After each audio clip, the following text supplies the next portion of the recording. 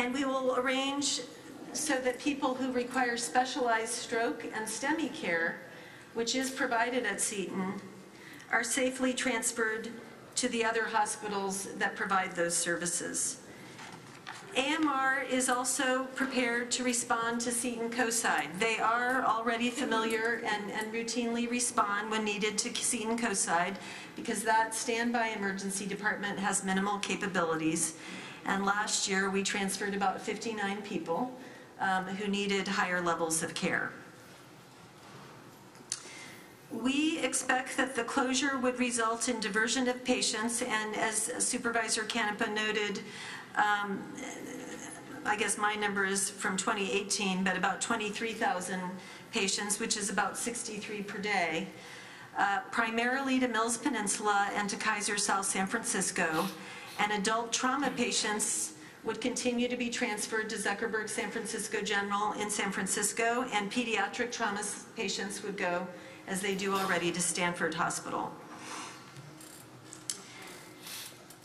The loss of Seton would primarily impact Medicare patients who are, Medicare patients are older adults who live in northern San Mateo County and in southern San Francisco County because Seton is a resource to people in the southern part of San Francisco. And the services that I mentioned before, but to recap, are the emergency department, acute inpatient, skilled nursing, and outpatient care. The population in this service area is substantially Asian, 45%. The median age is 44 years, but older adults are the fastest growing segment of the population in North County. And as I mentioned, uh, a large percentage of Seton's patients are on Medicare. They're Medicare beneficiaries. So that's 47% of the patients. And that's about 2,500 out of 5,400 discharges in 2018. And then there's a large group of Medi-Cal patients, people who are low income and qualify for Medi-Cal, or they may qualify as a result of their disability. That's about 17% of Seton's population. And so in 2018, that was just a little over 900 discharges from the hospital. It's true that in the past, Seton has been a, a, provider of charity care or uninsured care to the community, but because of the Affordable Care Act, many of the people that used to not have any insurance now are covered through Medi-Cal. So Seton is not a substantial provider of uh, services to people who are uninsured. And there are people who are, most people who get services at Seton are, have insurance coverage. It's also important to, for this community to note that at this point, Seton has about 13% of the market share uh, in this service area, which is the northern part of the county and the coast. That's the way to understand the service area for Seton. And that's because about two-thirds of this of Daly City zip code residents, they go to other hospitals already. And those hospitals primarily, as uh, has been noted, are, are the Sutter system, including Mills Peninsula Hospital, Kaiser San Francisco, the Kaiser system, and San Francisco hospitals, including UC. So you may know um, that the 357 licensed beds in the Daly City campus um, include 250 acute care beds. Um, 24 of those are licensed for geropsychiatry um, and 83 skilled nursing facility beds. The facility has operated at a low occupancy, and that is one of the aspects of the financial challenge. It's uh, been at a daily census of about 121. And then in addition, Seton COSIDE has 121 beds. That includes 116 nursing, skilled nursing beds, and those are nearly always full. And at the main campus, the skilled nursing beds are also nearly always full. So the skilled nursing uh, beds really are at, are at capacity. In the event of a closure, uh, there appears to be capacity at other local hospitals to absorb the loss of Seton acute care beds. Not the, the skilled nursing beds, but the acute care beds. The average daily census in 2018 for med-surg was about 66, and for intensive care it was about 8. The average med-surg occupancy rate for hospitals in San Mateo County and San Francisco is about 54%. So many of our hospitals have available acute beds. Um, The Gero psych beds are a different matter. Seton chose to operate, to open 24 Gero psych beds for acute psychiatry um, in the last couple of years. Initially, they were not substantially occupied, but more recently, they have been. And geropsych uh, specialty is not really available anywhere um, in the Bay Area. Um, To the extent it is available, it's offered to some degree by the Jewish Home for the Aged, uh, and it is offered at Fremont Hospital in the East Bay. But before Seton opened the geropsych specialty, the resources for older adults in psychiatry were the same as for adults. They went to the same hospitals. And those hospitals primarily are Mills Peninsula, my hospital, San Mateo Medical Center, San Francisco General Hospital, California Pacific Medical Center, and St. Francis. And if the, this unit closes, the system will again be trying to triage people back into those hospitals. There, there isn't a geropsych resource.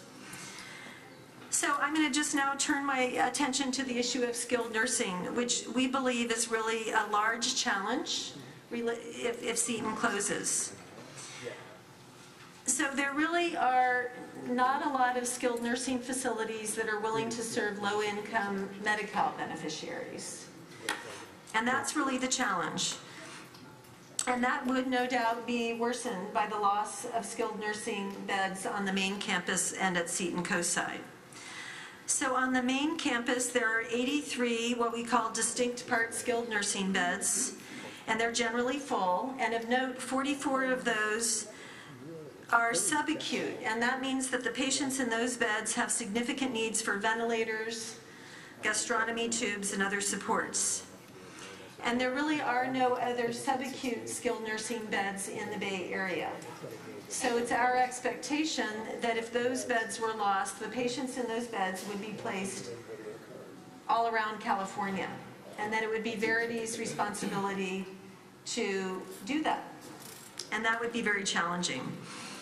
Um, At Seton Coastside, where the average daily census is 114, um, most of those patients are Medi-Cal beneficiaries, and there is little to no capacity for those patients at Bay Area facilities.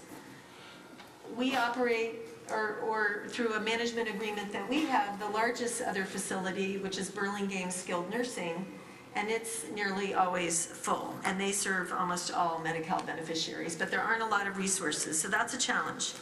And as I said, Verity has the responsibility to place all of these patients, and of course, um, the health plan and county health will be monitoring that situation and, and will assist. Um, Now I want to just to focus a little bit on some of the people who are associated with, with Seton. So uh, Seton's 480 or so medical staff physicians include numerous specialties. And the largest group is internal medicine, 129 physicians at the last I found that number. And so if Seton closes, those physicians may affiliate with other hospitals, some of them already have.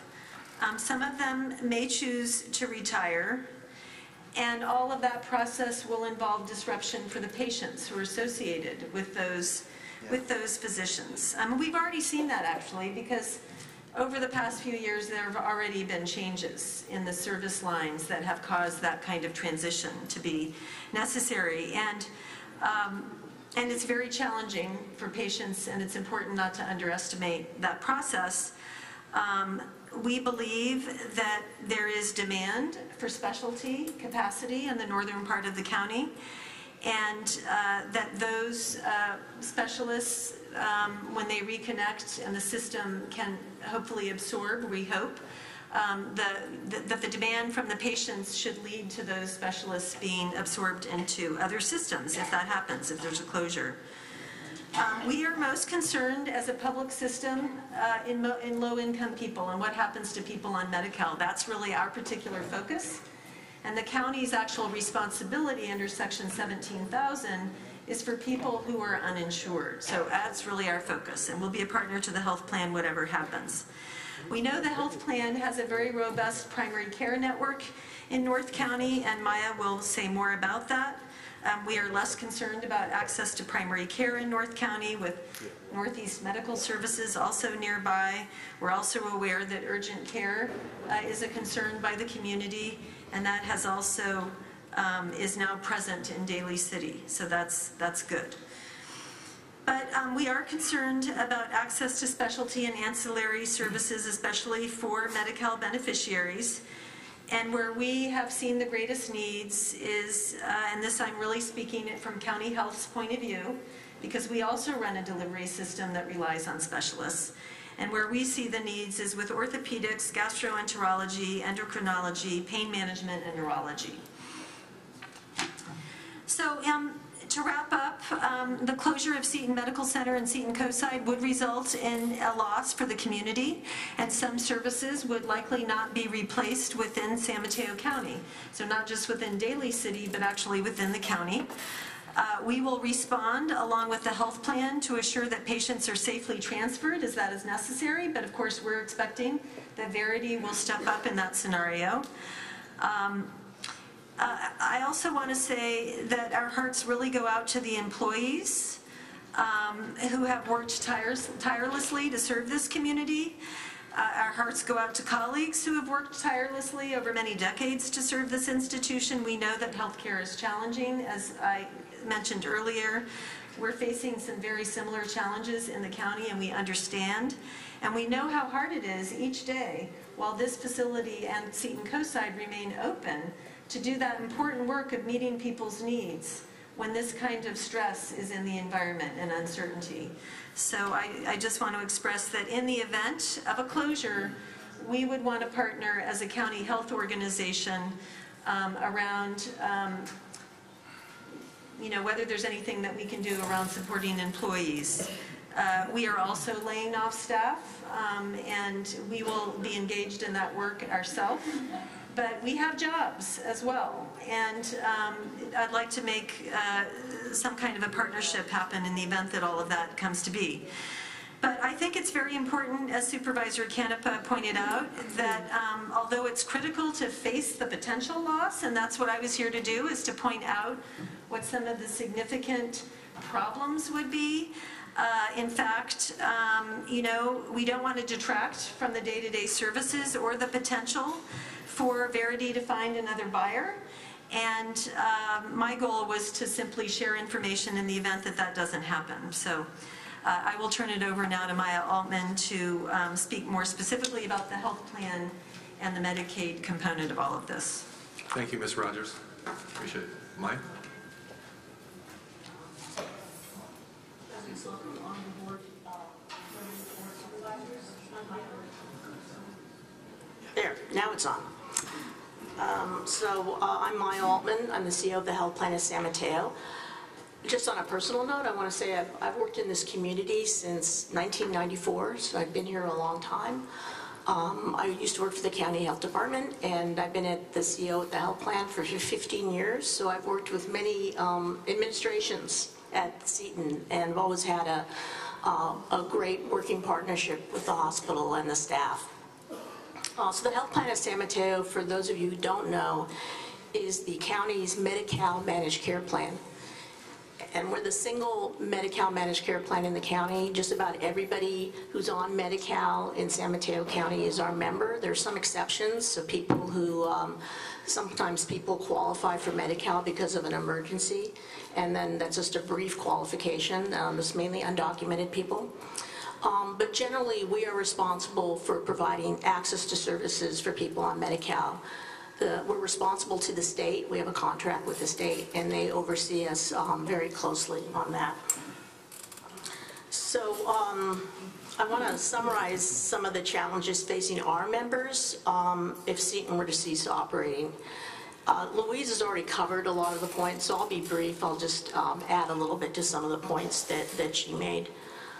Um, As far as, um, just to, uh, where we are now, Seton um, uh, is not a- a big as, as big a provider um, to our Medi-Cal members as it used to be. So right now, in uh, 2019, um, I checked the statistics today, and about 8.5% of our Medi-Cal members um, are hospitalized at Seton and inpatient. So Seton is the fifth highest volume hospital for us. Um, uh, uh, Stanford and Lucile Packard and the County Medical Center and uh, Mills Peninsula have a higher volume of our Medi-Cal patients, at least as of right now. Um, As Louise said, we do believe there is capacity um, with a 50% occupancy rate across hospitals in San Mateo County and San Francisco. We contract with all the hospitals um, in those two places. We believe we'll be able to find, help Verity, because we are, as Louise said, holding Verity responsible as the provider, but that we will be able to um, find placements for people in other hospitals and that there is capacity for the inpatient care on an ongoing basis. We're really, really worried about the subacute um, patients, as Louise said. Um, uh, this- These are people who are ventilator dependent for the most part. Um, We think it'll be really difficult to find placements for them, and it will probably be uh, in places that are far from the county and far from their families and loved ones. So we think that is really uh, a deep, that is very, a deep concern to us. Um, They're really all our members, they're all on Medi-Cal. The other area we're, we're very concerned about is the skilled nursing facility, and I, I cannot, I mean, I've spent years talking to my commission about the, the growing crisis in skilled nursing facilities in this county. Um, The capacity has been declining over the years, and not just in San Mateo County, but in San Francisco and Santa Clara counties as well. It is di- very difficult to place um, patients, particularly Medicaid patients, in skilled nursing facilities. Um, So the loss of 116 beds at Seton Coastside and uh, roughly 39 beds at, um, at the Daly City campus is, is of great concern to us. Um, The occupancy rate for skilled nursing facilities is 95%. So that just shows you how, um, um, how scarce that resource is. Again, nearly all these um, beds are filled by our members, they're Medi-Cal, they're Medi-Cal members. Um,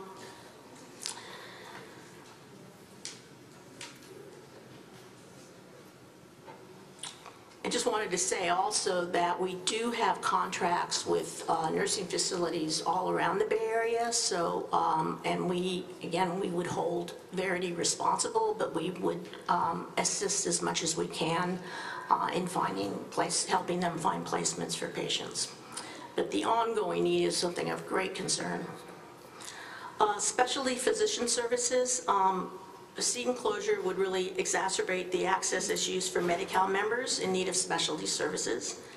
Um, In North County, um, we have the same needs as as Louise uh, um, listed. Um, The areas of greatest need are orthopedic, gastroenterology, endocrinology, pain management, and neurology.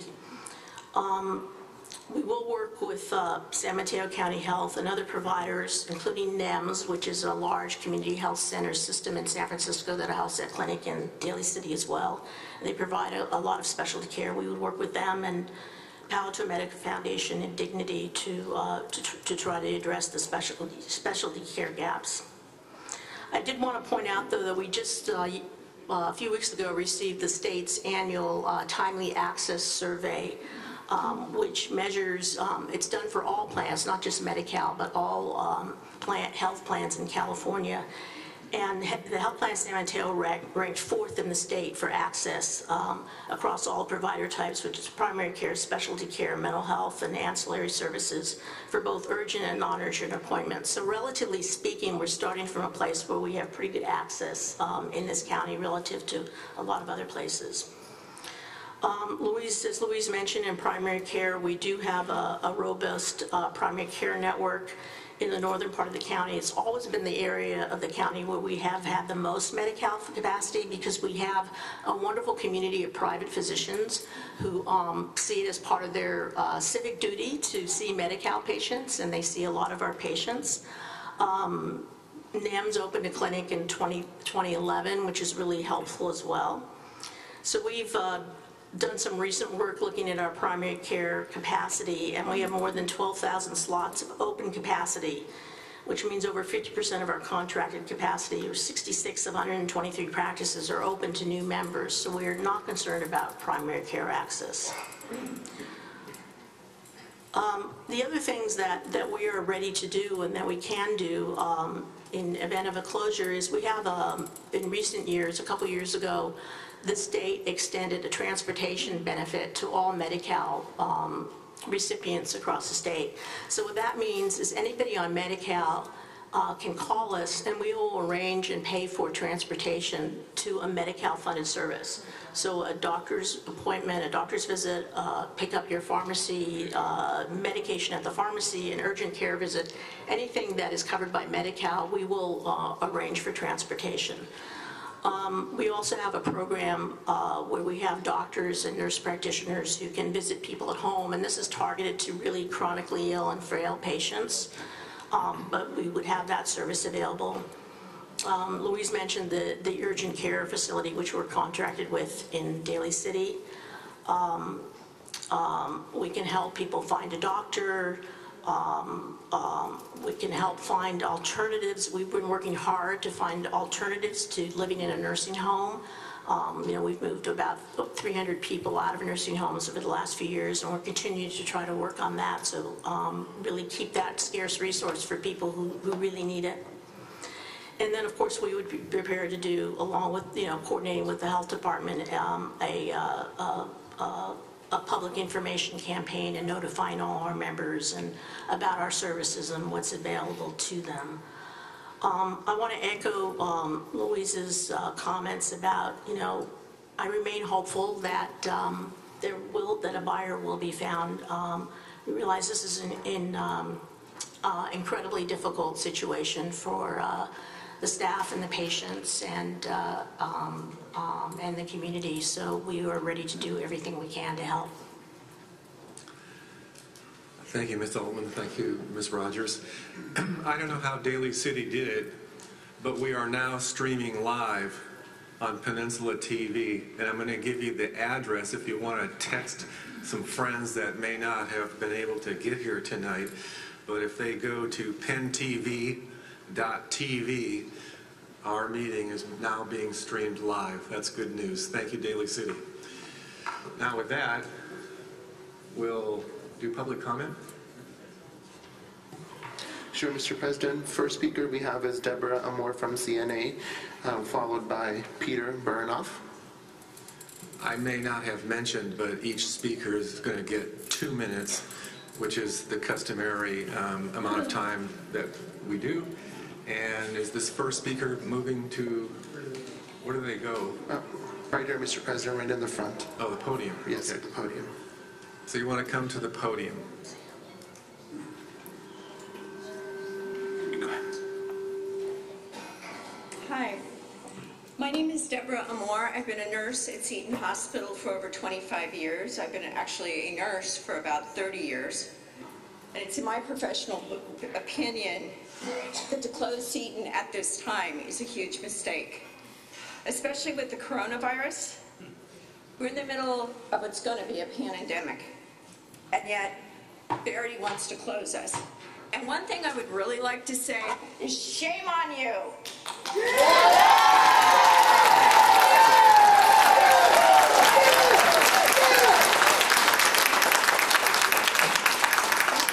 business of saving lives. Every day in the intensive care unit, that's what we do. Every day in our hospital with our physicians, our nurses, our RTs, all of you here, you know what we've gone through. And we know what Verity has done. They are crooks. Patrick Soon-Shiong came to our hospital.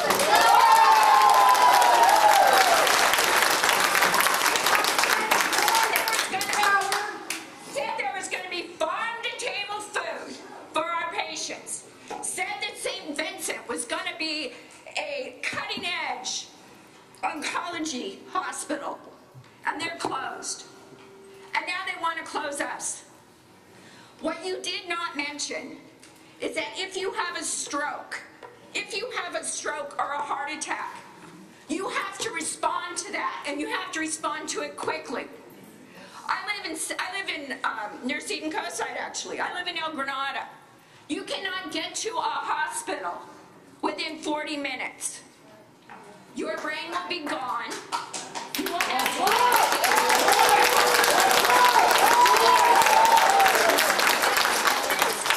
committee is not discussing. Thank you. Thank you for the comments.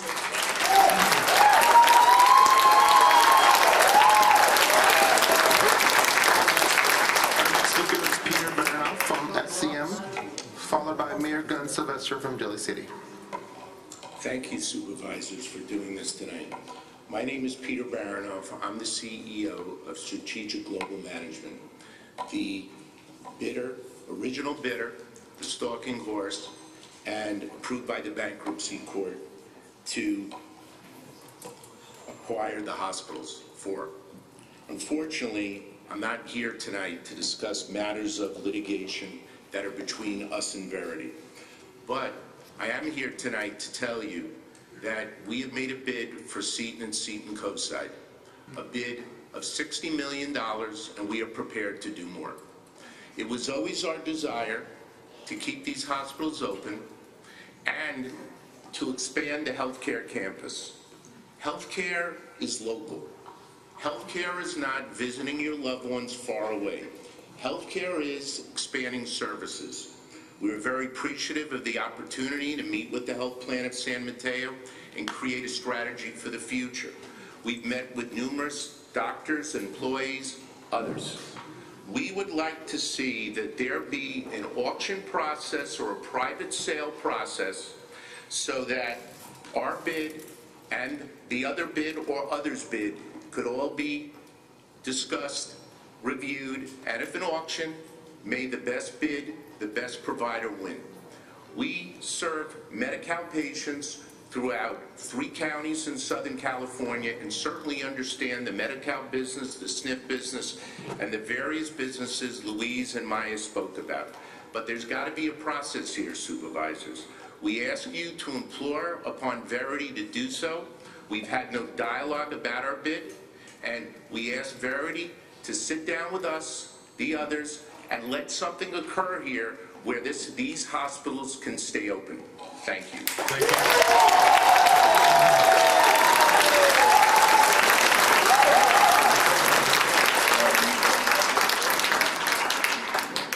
Our next speaker is Mayor Glenn Thank- Sylvester before- from Daly City. Uh, Mayor? Yes, sir. Before you go, could we ask a question of the last speaker? Sure.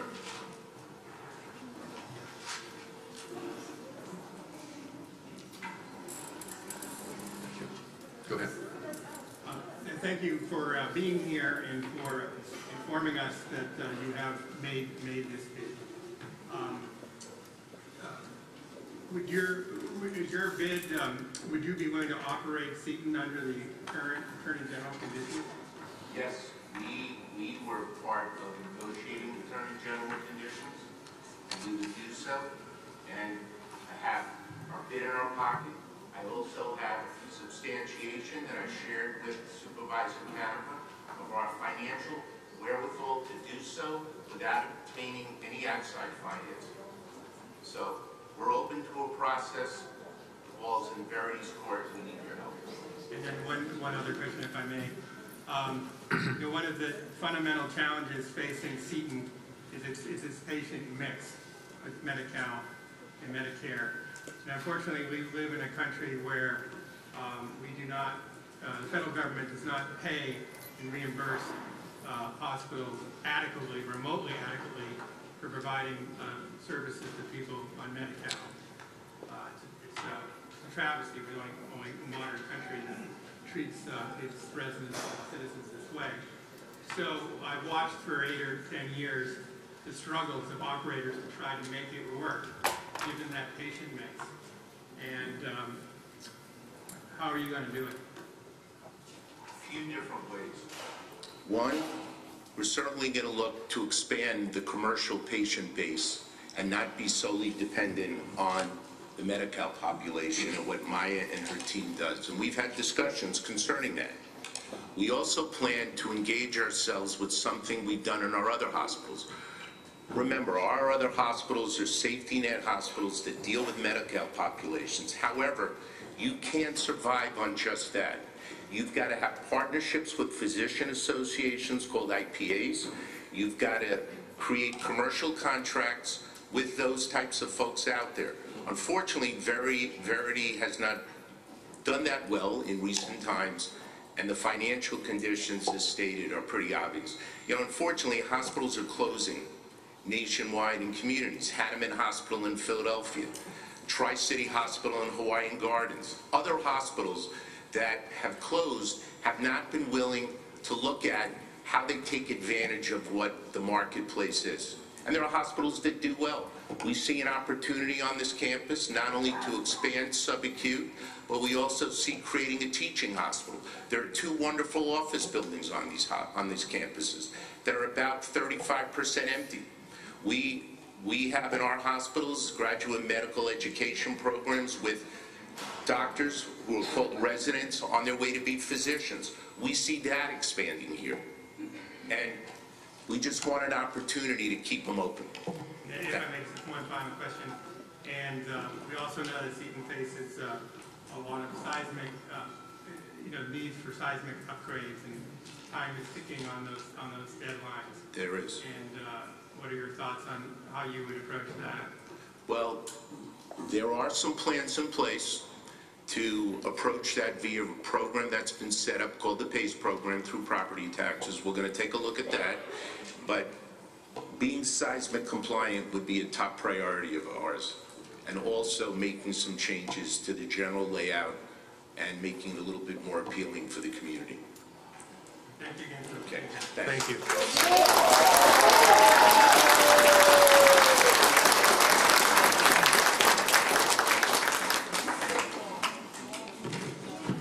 Thank you for your patience, Mayor. Yes. Good evening, Mr. President, Honorable Board of Supervisors.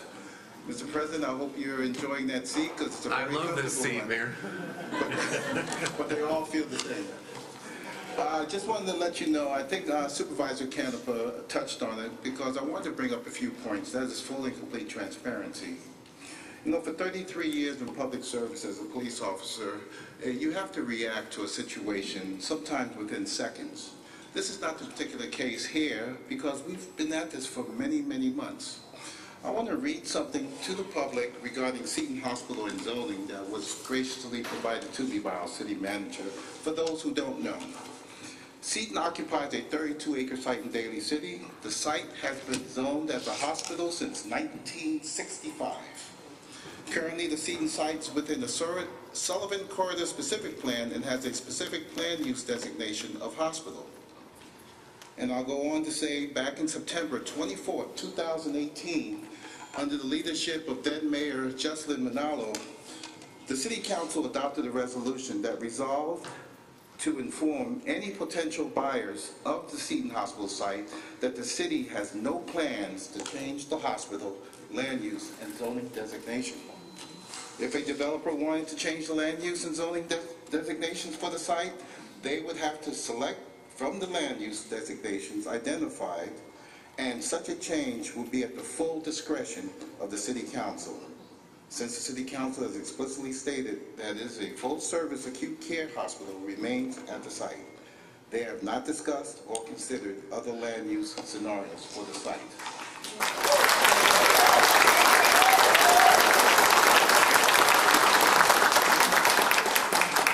So, uh, thank you, Penn TV, for putting this up for others to see. And after hearing about that, I would feel very, I hope that there aren't the old folks who are under acute care listening today. Ms. Rogers, you have provided a breath of fresh hope. Because if I was one of those acute care patients, I'd say, let me go. I don't want to be a burden and they don't deserve that. So it is unbeknownst to me, and I just learned that Seton may be closing within a week. And today, tonight, I heard maybe even a few days. Who are the buyers? We had one who just uh, appeared. But why haven't we received the full transparency to make this work?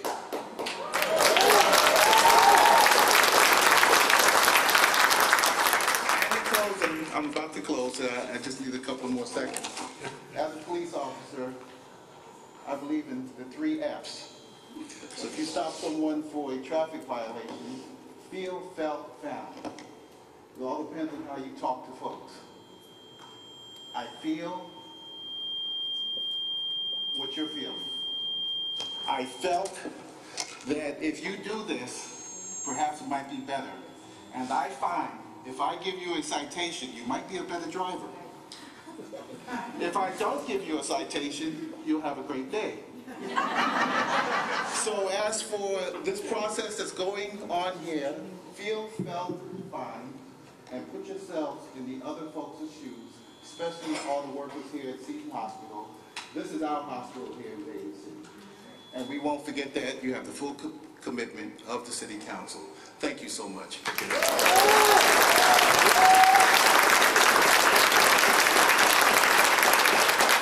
Next speaker is Eric Tuckman from AHMC, followed by Phoebe Minkler, and then L- Lang Lam.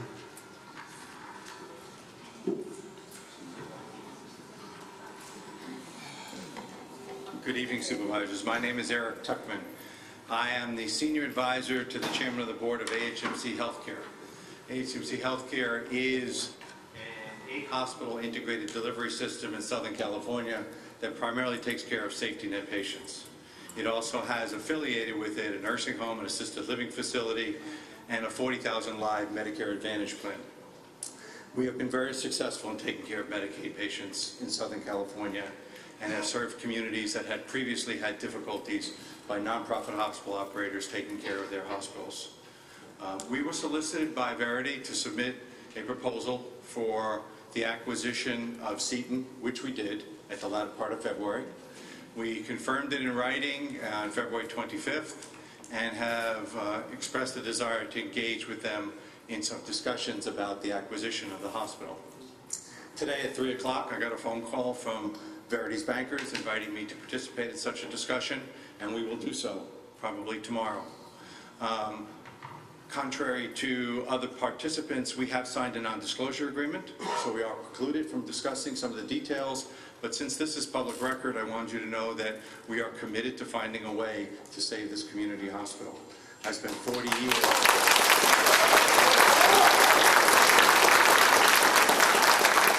I spent 40 years in healthcare, starting in Lynwood, California, Inglewood, California, and and then in Orange County, and now in Southern California throughout, taking care of patients of uh, low income, patients who have ethnic backgrounds that require specialized care. HMC serves a large population of Asian, uh, Asian patients. Uh, Many people believe we are primarily an Asian hospital system, but we take care of a lot of Hispanic patients in Hispanic communities, as well as numerous patients that have, uh, are either uninsured or underinsured.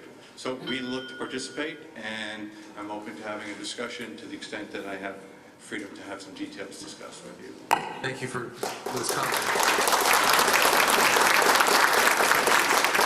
I believe Mr. Cantor may have a question or a comment? Do comment. you have a a question first? Why don't you go ahead, I'll defer to you, and then, Well, I, I was going to, um, ask you the same questions I asked the prior gentleman, um, if I may, if you're able to respond. Sure. The first being, would you be prepared to operate Seton under the existing Attorney General conditions? Yes, and in fact... In fact, um, AHM's Healthcare- AHMC Healthcare has acquired three nonprofit hospitals in the last few years, all with Attorney General approval. We acquired from uh, CHW, San Gabriel Medical Center, we acquired from Memorial Care, uh, Anaheim Memorial, and just this July, we acquired Parkview uh, Community Hospital in Riverside, which was uh, about ready to fail, and we uh, got Attorney General approval in July and we take care of predominantly government patients. So we are, we have a delivery system. I often tell people that many of the hospital systems talk about being involved in population health. AHMC is fully integrated. It does population health. It doesn't have to learn how to do it. It has an affiliated medical group, allied independent physicians that are our partners, that we work with closely. So we take care of patients on a value-based basis and and through capitation. So we're able to do that. And it's not all about putting heads in beds, it's about taking care of patients and keeping them healthy.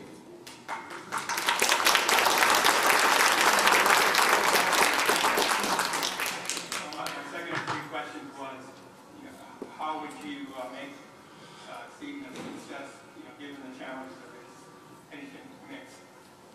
I, I don't think the patient mix is necessarily a problem because we have those mixes in our other hospitals. It's about the, it's about the, the, the model of care and the delivery of care, and it's about the cost structure you have when you, when you run a system and making sure your cost structure is capable to take care of the level of reimbursement you have. But um, we don't have a hesitation about taking care of Medicaid and Medi-Cal Medicaid, Medicaid and Medicare patients. That's what we do take care of, and we have a, a system of care, to- of delivery to do that. And a very, very strong primary care relationship with the uh, independent uh, P- IPAs.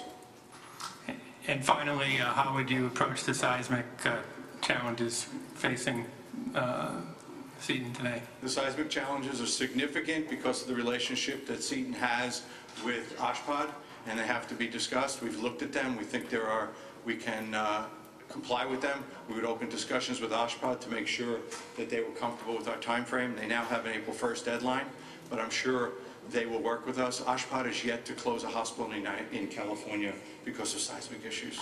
They have worked with everybody to try to make sure that the last thing they do is deprive a community of its access because of earthquake issues. But we have to make that commitment, and we will. Thank you. Thank you. Mr. Canepa.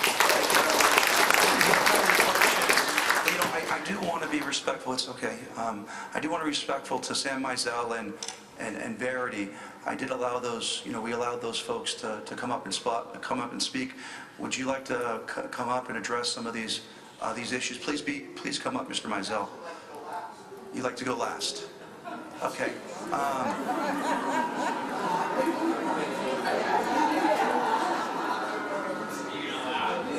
I have a couple questions for you. Could you come up briefly, and then you can make your closing comments? Thank you.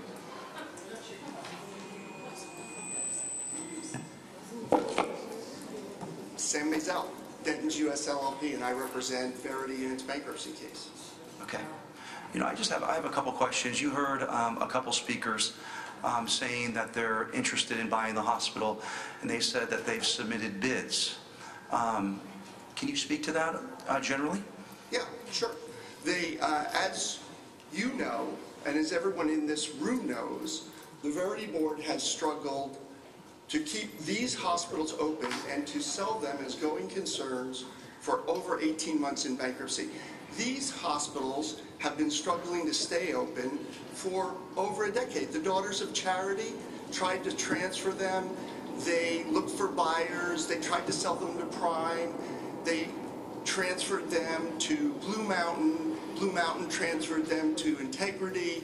Then they created uh, Verity Health System, a not-for-profit corporation, which has no ownership. Patrick Soon-Shiong has no connection to the company now, uh, except as one of thousands of creditors. The board has struggled to find buyers. It's interesting to hear Mr. Baronoff talk about their interest in acquiring these assets. It reminded me of the exact same comments he made at the public meetings here in Daly City in the context of their failed acquisition uh, over the last year. It, we heard the same things, and they did not close. And I won't go further now because we are in litigation with them. But they didn't close when they said they wanted to keep the hospitals open then. And we would have concerns about any suggestion of their interest in acquiring the assets now for the same reasons. We, as representative from AHMC said, we are in conversations now because we do want to keep these hospitals open. But these this hospital loses, was subsidized by the company $60 million in losses last year. The discussion you heard about the care they provide here, the quality of the staff, no one disputes that. The problem is neither this county nor the board nor others have the money to sustain the losses here. What you hear here, I, I've spent 20 years working with financially distressed hospitals. That's what I do. What you hear, what I hear when I hear these comments, and the comments I know I'm going to hear from the nurses, that's an indictment of how we deliver health care in America. The problem is I can't fix it. The Verity Board can't fix it. The bankruptcy court can't fix it. So, you know, that's a long answer to your question of do we want to keep the hospitals open? We do. We're still in discussions. But someone has to pay the losses. I mean, in Santa Clara County, they wanted the two hospitals, and they had the wherewithal to step up and buy the hospitals to preserve them for the healthcare system in Santa Clara County. That apparently is not an option here. That's unfortunate, but somehow 60 million. Excuse me interrupt you, I don't think you, you can say that um, right now. That's, that's, that, that may not be accurate, you don't know that. That's- So, you know, I I would just caution you with your words, okay? And so let, let me ask you a couple questions, okay? Supervisor,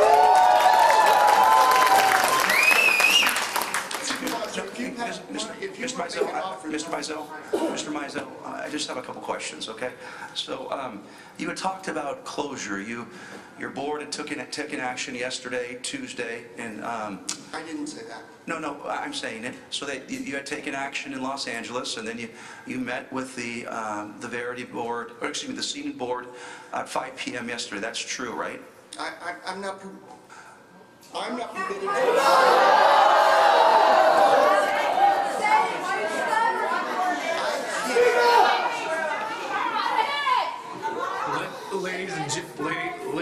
Ladies and gentlemen, we, we do need to get through this, so. You know that I cannot talk to you or the audience or anyone about attorney-client privilege communications.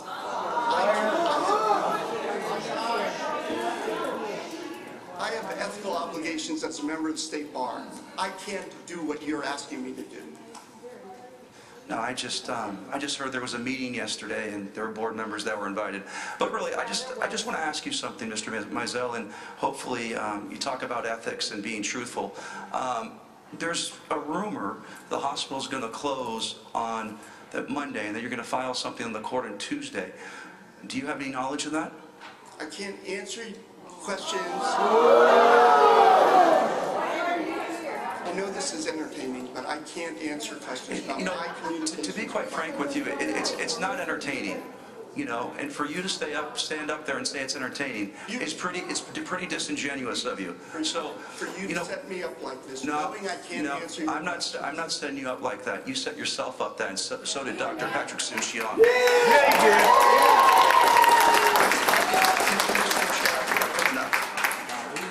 Thank you, Mr. Canepa. Thank you, Mr. Maizel. Next speaker, please.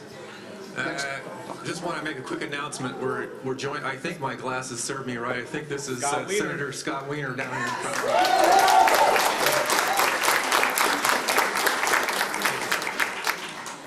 Yeah. Our next speaker is Phoebe Minkler, followed by Lang Lam, and then Michelle Kubota. That's- Se- Senator, Senator, excuse me, just a second. Did you want to speak? Yeah, okay, when you're ready. Hello, my name is Phoebe Minkler. I'm an RN at Seton Medical Center in the ICU. I've been there for almost 10 years. I'm also a member of CNA. I'm also a member of the bargaining team who sat across the table while we were trying to bargain uh, with a new contract with KPC last year. I have nothing prepared written other than I'm just completely appalled.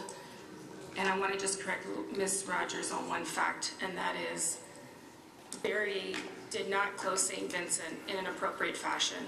Per the law, you're supposed to give 90 days' notice if you're going to have a planned closure to an emergency room. They closed that hospital in two and a half weeks. They did not give them the 90 days' notice to those patients, staff. I'm not saying they didn't place those patients correctly, but they did not give the 90 days' notice. I just wanted to make sure and bring that. I agree, um, and for your information, we sent a communication uh, in 2018 to Seton Hospital to remind them of this requirement and to ask for information, and we have sent that communication again, and it is true, there's a 90-day requirement, and it- that it wasn't observed. My focus was primarily on the, how the patients were transferred, but I can't argue with what you're saying. No, thank you. I just wanted to make sure and bring that up. So there's just so many things that are wrong about this, that in a community that is one of the wealthiest communities in this country, that we cannot provide health care to our patients. And I will just tell you that I can see patients dying every day. We already take care of tons of Kaiser's patients because they don't have a STEMI center at Kaiser South City, which is the closest emergency room to us. They have tons and hundreds of thousands of hours of diversion hours every year. I would just ask that everything be done, and that Verity is not allowed to continue their slimy business practices and close us if there are other potential viable buyers to buy us and keep us open. Thank you very much. Thank you for your comment.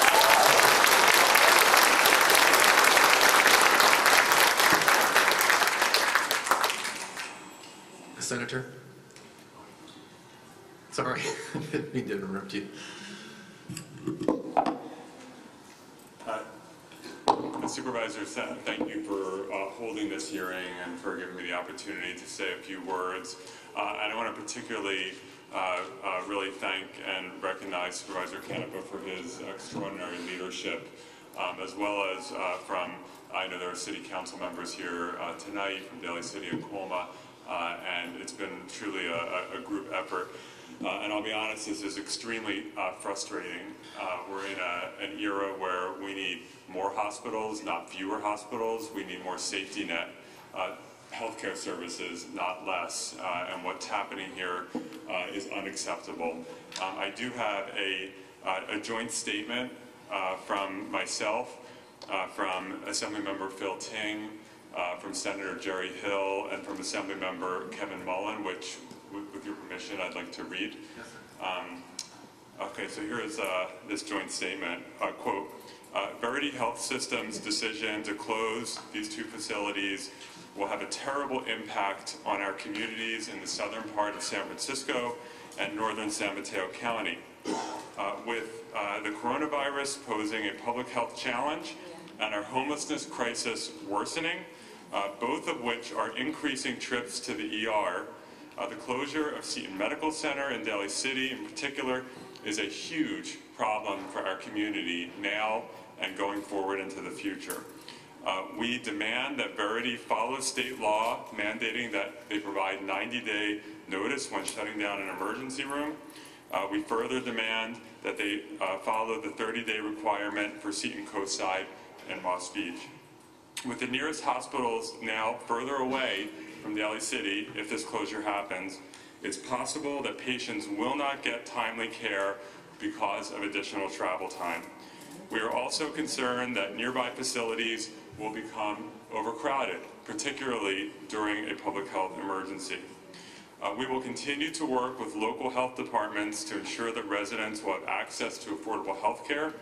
Uh, now is not the time to close down a hospital, and we ask Verity to reverse this decision. Uh, I also just want to close by saying uh, this does not have to happen. This hospital can be sold, it can be kept open, it can keep providing critical healthcare safety net services to the community, and this is just horrendous what's happening, and Verity needs to shift course and keep this hospital open. Thank you.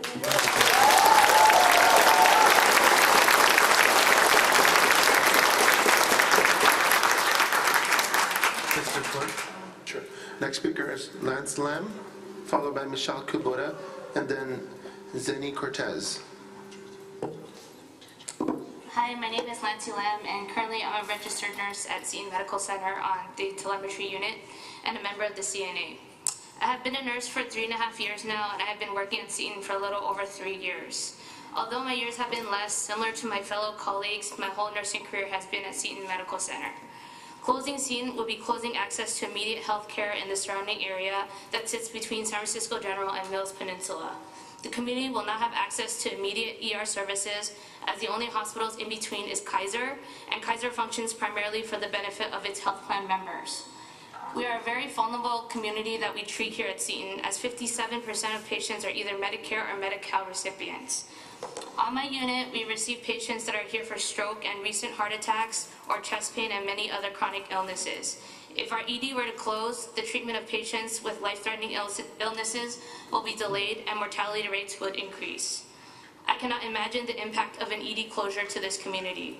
Not only will it be devastating, but lives will be at stake. I had actually had a patient the other day who works at Redwood City. He had some neck stiffness and went to the nearby hospital, but they sent him home. When he got home, he knew something wasn't right and came to our ER. Turns out he was having a massive heart attack and ended up in the cath lab and then the OR for open heart surgery. If our ED was closed, he would not have been treated right away and may have even died. He's only 47 and his 11 and 15 year old children would have lost their father. Closing Seton would have lo- closing Seton and our ER services will be closing the ability to treat stroke patients and patients with a heart attack in a timely manner. The community would have increase in deaths that could have been preventable. We are not talking about jobs. We are not just talking about jobs that will be lost from the closure of Seton, but lives of human beings that would have been lost. We demand from the district supervisors to keep our location to be a hospital zone only. We need the protection from you guys so that Seton can be saved and that the community can be saved. Thank you.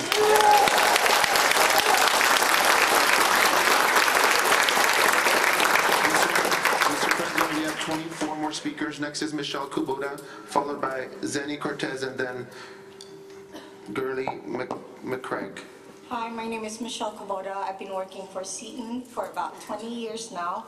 If you look in front of you, majority of these nurses and staff, raise your hand if you've worked here for more than 10 years, more than 15 years, more than 20 years. Very, I, I I wrote a whole speech, but I'm just gonna put that on the side and just speak from the heart. Thank you, everyone. You, you know, with Verity, knowing that we are on bankruptcy, we all did our best to care for our patient. When they say give high quality care, we give high quality care. We don't have enough clinics, but we'll make through the day. We will take care of those patients. I did take care of that patient that Lancy was talking about, the 47 years old.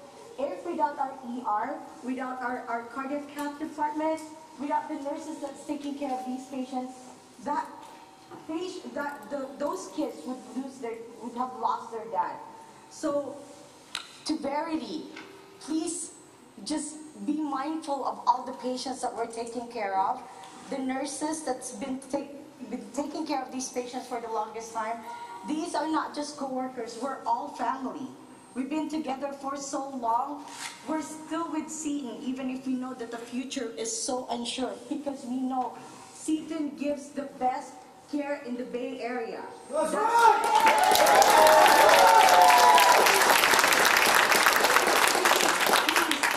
all of you, I know promises is overrated, but give us your promises. Keep our hospital open. Our patients need us. Our staff needs us. The community needs us. We love our job, we love our community, and we would love to continue to care for this community. Thank you.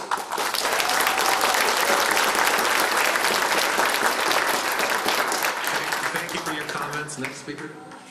Zenny Cortez, followed by Gurley McCraig, and then Kevin Vu. Good evening. My name is Zenny Cortez. I've been an RN for four decades. I work at Kaiser Permanente in the closest hospital to Seton. We know that there have been viable bidders for Seton, and yet Verity continues to fail the community. Just for the record, Kaiser South San Francisco is in the 96th percentile statewide for diversion hours in 2018. Lives are already being put at risk, and diversion hours will only worsen with Seton's closure. Seton Medical Center in Daly City is the largest employer. The closure would impact the community immensely. We need all of you, our elected officials, to work with us to do everything possible to not let this happen. San Mateo County needs to quickly explore all options to ensure vital services to the county residents are not put at risk. We know that tens of thousands of patients from San Mateo and South San Francisco rely on Seton, and the closure would put lives at risk, especially during this pandemic. We know that St. Vincent's immediate closure was reckless and may happen to Seton. As patient advocates, we will not stand by while Verity devastates another community. We need to all work together to ensure this does not happen. Our Seton Coalition of Nurses, healthcare staff from NUHW, and Engineers Union, doctors and elected officials will demand that Verity do the right thing. Keep Seton Hospital open and lives will not be lost. Thank you.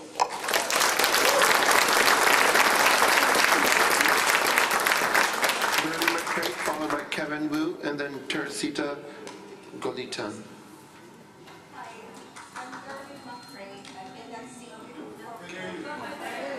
I've been at Seton working for 40-something years, and I just want to show you, these are definitely few notes that the patient sent us. to thank the care of our doctors, the best care, uh, the heart doctors, the GI doctors. So these are the, they're taller than me. I can't bring any more because then you won't see me.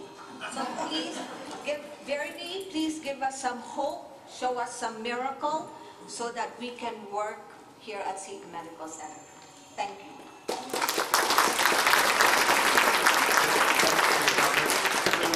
Followed by Teresita Golitan, then Felix Milhouse.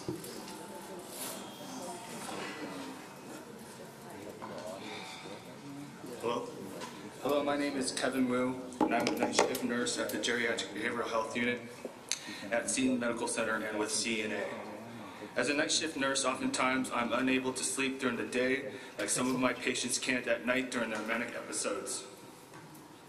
For instance, one of my patients covered herself in blueberry yogurt and insisted on carrying a leaking garbage bin. And as we tried to redirect her back into her room and reclaim the garbage bin, she became verbally threatening and started kicking at us. Other patients of mine have OD'd on pills because they just lost their spouse of 50 years plus, just one month prior to their suicide attempt. Sometimes I wonder whether one of my parents will end up in a place like this, as one of them, one of them will die before the other. Where will they go if there are no places like Seton Medical Center? Seton's closure will put lives at risk, and with the looming pandemic, Verity's actions or lack thereof are reckless and without regard for the community they promise to serve. Board of Supervisors, I urge you to protect what is left of our crumbling healthcare system and do all that you can to save Seton Medical Center.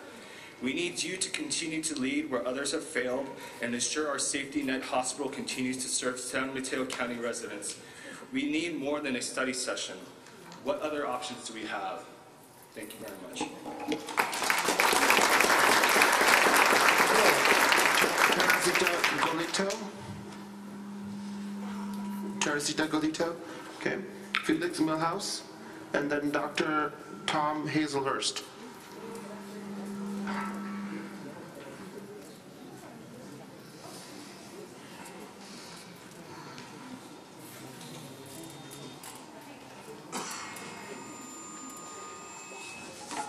Honorable Supervisors, thank you for the opportunity Uh, My name is Felix Milhouse, and I've been the medical director of the the cardiac cath lab at Seton Medical Center for, since 1994. Uh, Seton has been one of the leaders in establishing the efficiency of cardiac care for heart attacks. The, there are several parameters by which we are judged nationally, and we do very well on Seton- by- at Seton Medical Center. The very first one is when somebody walks in the emergency room, how long till you get that blood vessel opened up? All of the hospitals in San Mateo County have very good results. The difference is what we call the onset of the symptoms until the vessel gets opened up.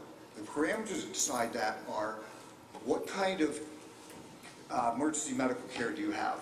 We have very good EMS people, but um, not all of them come by EMS. A large number of people at Seton come, walk into the emergency room with their heart attack.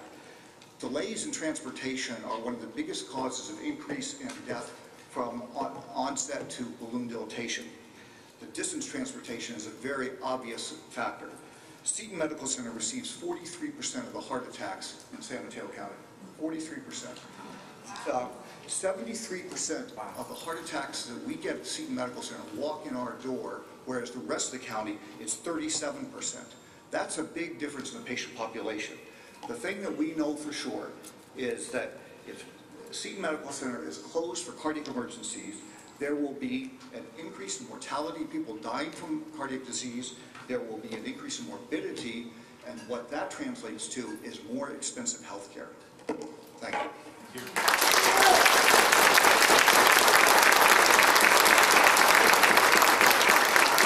Speaker is Dr. Tom Hazelhurst, followed by Merrick Silowski, sorry. Good evening, Board of Supervisors. Thank you so much. Um, Maya and Louise, terrific presentations. I am Dr. Tom Hazelhurst, and I'm the medical director for the post-acute care beds, 199 at Seton Medical Center and Seton Coastside. And I would say that uh, the other thing I'd like to say is I'd like to thank Dr. Milhouse because I wouldn't be standing here. I'm a graduate of his program. I, I walked into the emergency room with chest pain, and within 30 minutes, he was putting a stent in me. So it, he, he really does work. Um, so we have some difficulties in long-term care. Uh, it's really where the rubber meets the road in society. We have poor people who need care. Where does a homeless person who is admitted to Stanford, septic and sick, they recover and they still need ongoing therapy? Where do they go? They go to Seton Coastside. Where does an overdose go who has suffered a seizure and has brain damage and is on a trach and a ventilator? Where do they go? They go to our subacute. Where does a person with Lou Gehrig's disease, who has opted to be ventilator dependent, has a tracheostomy, and they're poor, where do they go for lifetime of care? They go to Seton. So we really do take care of the poor people, and I'm proud to be part of that team. We have wonderful nursing staff, wonderful therapists who are committed to taking care of these patients, and they are difficult to take care of most of the time. So I hope that we don't end up with a closure. But if we do, they're going to be facing some very difficult problems. The subacute patients, and there's 44 of them, are 100% Medi-Cal on, a, on the Medi-Cal subacute program. When St. Luke's subacute closed, uh, when CPMC bought St. Luke's and closed the, the uh, subacute, they thought they could easily move those patients to their hospitals, ventilator dependent, in San Francisco. No way. First of all, they're not patients when they're in post-acute care, they're residents. And residents have rights.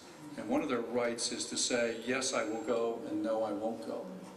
And, and it was a powerful meeting that I went to in San Francisco with the San, San Francisco Health Commission when some of these patients were being discussed and how to deal with them. So it's very, very difficult. I would imagine this will take not months, but years to, uh, to uh, solve the subacute program, notwithstanding the possibility of a, of a structure um, being built or modified to handle them outside of the system. The same is true with our patient population at Coastside. Uh, that, where, do you, where do you put a homeless patient? Where do you put patients who have no family? Um, it's, it's unbelievable. And to give you an idea how hard it is to place these patients, many of them are custodial care. But what, when, when we had one patient, she was perfect, normal, talking, walking, didn't really meet any skilled nursing facility criteria. But we couldn't discharge her. She had no place to go. Health Plan of San Mateo, Sorry, doctor, to cut you off, but I forgot to turn the timer off, but two minutes have passed. Uh, sorry.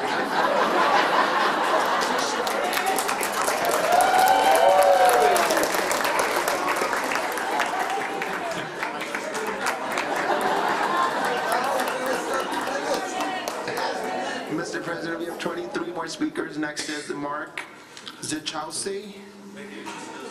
Z- Yes, yes. Followed by Peggy Chu Wong.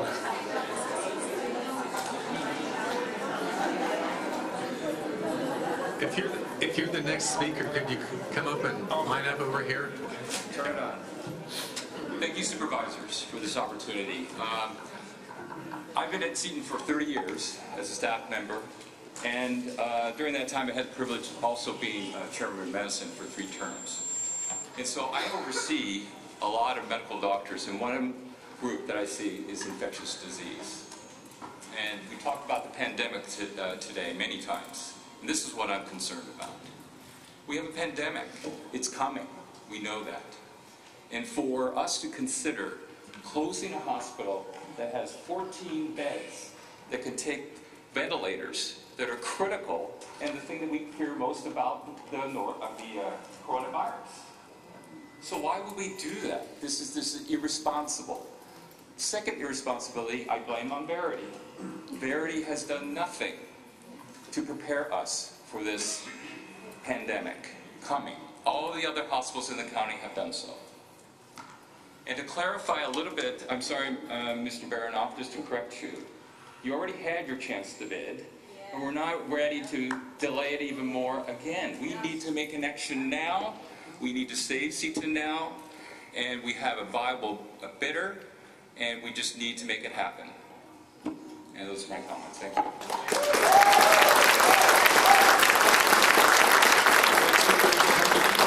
Chen Wong, followed by Thomas Norris, then Coleman, Ryan, and then Warren Chang. Peggy Chin Wong. Okay, next speaker, Thomas No- Novis. Okay. And if we could have um, the f- next speakers line up, Peggy Chin Wong, then Thomas Novis, Coleman Ryan, and then Warren Chang. So Peggy, go ahead. It's okay, but could the speakers that are called line up here so we could move this through a little faster, please? Thank you. So, thank you um, to the Board of Supervisors for listening to our concerns tonight. Um, I'd like to speak briefly on three areas that are important to me. First, I represent um, pharmacy. I've been a pharmacist at Seton for 20 years, 12 at Seton, 8 at Coastside. I serve Coastside, 9th floor and 4th floor, as Dr. Hazelhurst so eloquently mentioned. For me, long-term care is very important. Those beds are necessary for our community. In this county, we have an aging community, a homeless community, and those beds are necessary for their care. They would not receive care otherwise. And I see the staff every day taking care of them to the best that we can with what little resources we have. Secondly, the coronavirus is coming. And as Dr. Tucciossi mentioned, it is irresponsible to have 10 floors of beds that we could use with negative pressure rooms to contain the virus and keep our community safe. Those are two very important areas to me. Lastly is a personal thing. I'm also a patient. In 2018, I was diagnosed with breast, with breast cancer. I received surgery, chemotherapy, and radiation, treated by Dr. Pamela Lewis, Dr. Barry Chowser, Dr. Ken Yamamoto, and the nurses at the infusion center, which is now closed. If that hospital was not here to treat me, I would not be here. I would not have chosen to go anywhere else except for Seton. Lastly, I would like to ask Verity, is this how you would treat your family? Would you treat your family member this way? I'd also like to ask if there's a representative from the Attorney General's office to investigate Verity for unfair business, business practices. My husband is an attorney, so he asked, he wanted me to ask that tonight, if the Attorney General is here or representative to delay the bankruptcy and investigate Verity. Thank you.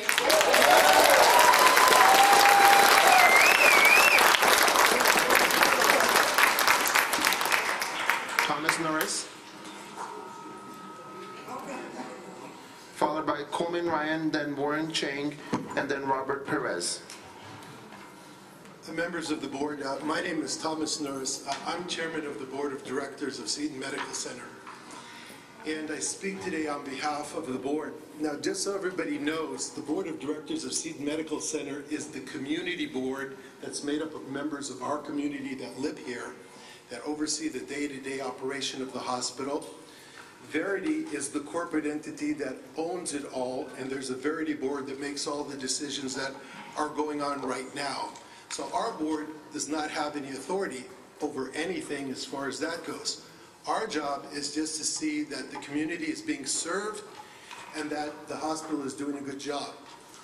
Now, I've been chairman of the board since 2015, and this hospital has improved every year. We've been in bankruptcy now for 18 months, and we went from a two-star hospital to a four-star hospital. We were rated as a D hospital on Leapfrog, and we are an A hospital in bankruptcy. That's right! That's because of all the people that work hard here and that believe in this hospital. Now, this hospital belongs to the community. Verity has done what they can do, and you know, we talk about what's going on with sales. All these things are done with non-disclosures, and so everybody's side of the argument cannot be heard. But you have buyers and you have sellers, And buyers want to buy cheap and sellers want to buy high. So let's just be reasonable about this. We are where we are right now. There's a bankruptcy court that is overseeing all of this. So there's rules that have to be followed. We don't have the, the discretion to just say that we can just go right around the bankruptcy court. We got to deal within the rules of bankruptcy. So what happened in the past is the past. Now, our community has to come together right now, and we need to come together. I'm going to. Sitting down yet. Our community needs to get together, and all of the leaders of our community have to get together. Our cities, our state, and our county, because we are now responsible for what happens here. I've been an elected public official in the north end of the county here for 35 out of the last 40 years. So I know what it's like to sit up there and to have responsibility for people that elect you. Now we have a virus that's coming on. We have to deal with it. If everyone else is gone, our county has to deal with it. So we have to make some tough decisions. The board, the state, the cities, everyone has to come together now and figure out how we do it. But it's not going to be easy and it's not going to take a lot of time because bankruptcy is not going to wait forever. So if we're going to do something, we need to step up now and we need to let the bankruptcy know that we're serious. We're going to do something because they will cut off the funds, they will end it for us, and we can't let that happen. So I'm challenging all of us that are in public service right now, all of us who are in the private sector, businesses, other hospitals that will have to pick up the slack. They got to get involved too because it affects everybody. So I'm hoping that we will really get the message today about forgetting what happened in the past, what happens today, and what happens in the future is what's important. And that's what we need to focus on. Thank you.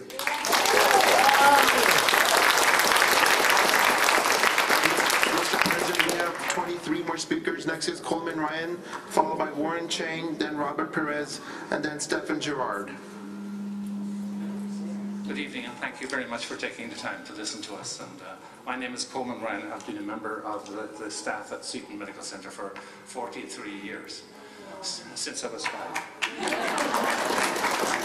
Chief of cardiology, I'm a retired cardiologist, and I'm also vice chairman of the board, and I've been on the board of Seton for 30 years. But I'm here to represent myself. Uh, we had two very important anniversaries this uh, just last week. Uh, one is the walkabout, talk about in uh, Serramonte, where we actually educate the public on prevention, and I was a very big part of starting that and uh, maintaining it. That, and my, my work, my research work was all on the Asian population here, and I published numerous papers about uh, uh, prevention of cardiac disease. The next, uh, next one was the San Francisco Heart Institute is 40 years old yesterday. So and I was one of the founders of the San Francisco. And we, I'm, also involved in the STEMI program and also the stroke. And I do- want to mention the stroke program. But the other thing that's important is, is that uh, I also was a patient there. Uh, I had, I I also had cancer. And Barry Chaucer, who's here, and I'm probably going to speak, who's uh, responsible for uh, curing me with his radiation therapy. I'm five years out of uh, major uh, leg uh, cancer, and uh, no sign of it coming back, thank God. And the third thing is, uh, recently I had what I thought was appendicitis. And I got my wife, I live right beside Peninsula Hospital, the Taj Mahal. And I was having extreme pain. And I said to my wife, it's not, not easy or not hard to tell her to go fast, because she goes faster all the time. But I said, get me to Seton. So I, we went through the traffic. I put up with the pain for the, the extra 25 minutes. Because I am also in charge of quality uh, for the hospital. That's my determination is I'm a medical director of quality.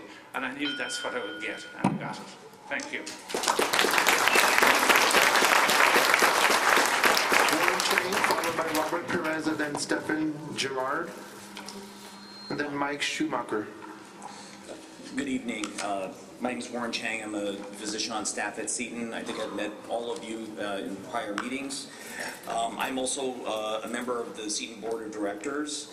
Um, Everything I was going to say was just said by our illustrious chairman, uh, Mr. Tom Norris, but he said it much better than I would have said it. But um, What I would uh, emphasize, though, is that I think part of the tragedy here is that we see that we have a seller and we, ha- we obviously have buyers.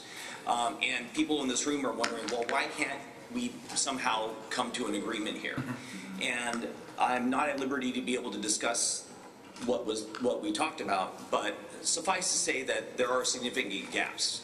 Um, And um, this is where we need help, okay? Um, And what I mean by help is we need some heavy lifting from the people who are sitting in front of me, the county, okay?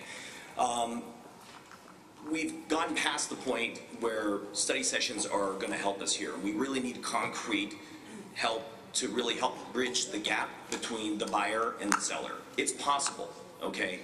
We have time. It's not a lot of time, but we have time.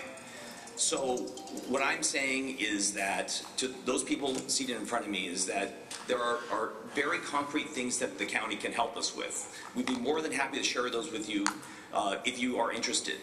Uh, I think everybody in this room wants to keep Seton open, uh, including the buyers here too. So we can bridge this gap, but we really do need your help. Seton's always been there for the county. Now we need the county.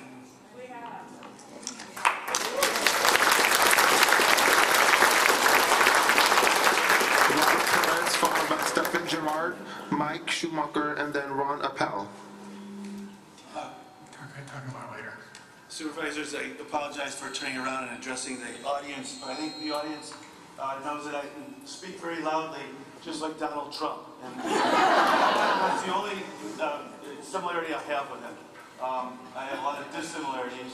Uh, This pin that was put on me was placed on me by Joe Biden about nine years ago when my brother was made the civil rights, uh, the the- the attorney general assistant to civil rights. So um, the point being is that, um, you know, we're in a very serious situation here.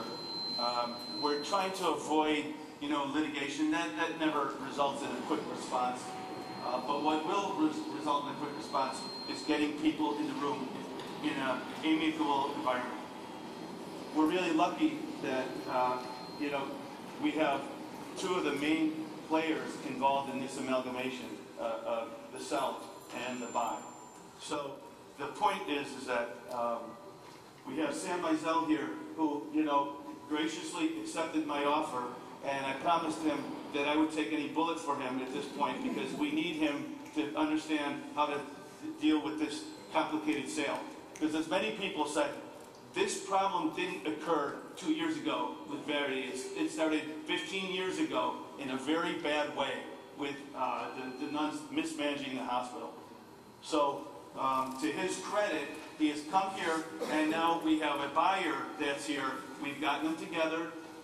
We started today in negotiating. We're, we're, as I told you four weeks ago when I was here, we're going to finish this sale. And this is going to be a very concrete situation. It's very obvious this hospital cannot be closed. Um, it- yes. These outline set, uh, all these options, but quite frankly, they're not realistic. You know, for instance, we had our IV infusion center closed, and uh, the ombudsman uh, uh, reported to the bankruptcy court that this would be a soft landing for these people with, with cancer getting IV therapy. That soft landing never happened. We received multiple nasty letters from area hospitals saying, next time you send us a tsunami of patients, please have the decency to let us know because we can't service most of them. Some of them are going to get hurt. So th- this is, there's too many corollaries with this that tell us that we cannot let this hospital close. It's not we, it, it won't. The bankruptcy judge is also very intuitive and has had this situation before. So, um, what I'm trying to reassure you is that we- we're making a lot of good progress with the transfer and sale. Uh, we, we, there's no option to close. We're looking forward. And what, what, what Warren Chang talked about, help, you know, we're gonna need, we, we're gonna need a lot of help afterwards. From Maya Altman, their health plan group really uses more than 8%. I, I'm a frontline provider at all three of these hospitals she talked about. And Seton by far, you know, quadruples the amount of care that these, these other hospitals have. the- Seton has all the primary care. Excuse me, you need to wrap it up, sir. Okay, all right. Anyway, the point being is that, um, that's what I have with Donald Trump. The point is that we are gonna make this happen. I promise you that, that Seton is not gonna close. We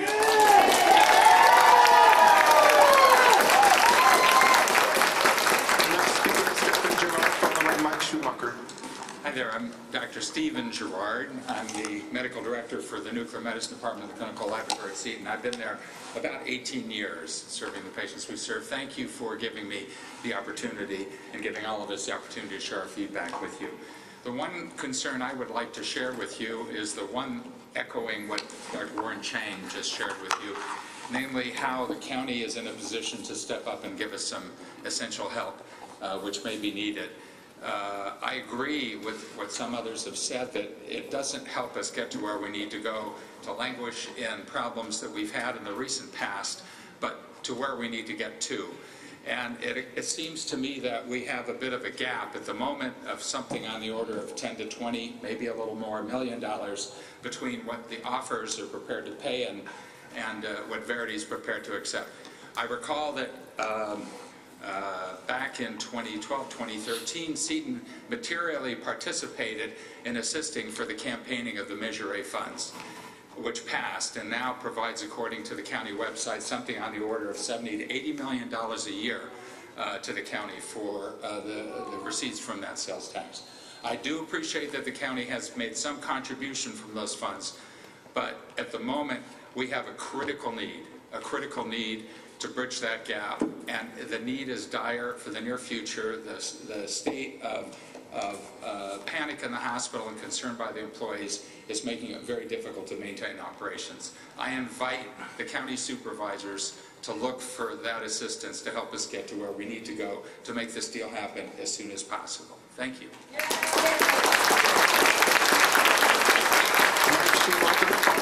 Appel, and then Josiah Chilal. Well, I'm neither a buyer nor a seller. So what I am, though, is a, a parent of a resident at Seton Coastside. And uh, what I can tell you is that place is a small gold nugget. Dr. H is, is there all the time, he knows, and he was talking about Sir, if you could direct your comments to the board, please. Thank you. Sorry about that. People who are on Medi-Cal, I mean, that's a sad place to walk the halls because those people have zip, nothing. And on Medi-Cal, at that location, they're getting great health care. My son has had six and a half years of it. The staff is incredible. So the thought of it closing, to me, is inconceivable. One other comment, you mentioned it's difficult to find sniff beds. It's not difficult, it's impossible. My wife and I spent 30 days, every day, we went to 28 different skilled nursing facilities, starting in San Francisco, ending in San Jose. We graded them from A through F. We had 11 Fs. A lot of those places I wouldn't put an animal into, right? So they're just, they say, look, you ask them the question, do you have Medi-Cal beds? Well, of course we do. By law, they have to say that. The fact of the matter is, they don't take any in. Because we went back time after time after time, and they said, yeah, well, we're gonna have one, uh, next week. Come back next week, okay. No, well, it's changed. Well, we cracked the code. They don't accept Medi-Cal patients. They say they will, but they don't. Why? Because they lose money. So keep these hospitals open, please. The team is great, thanks.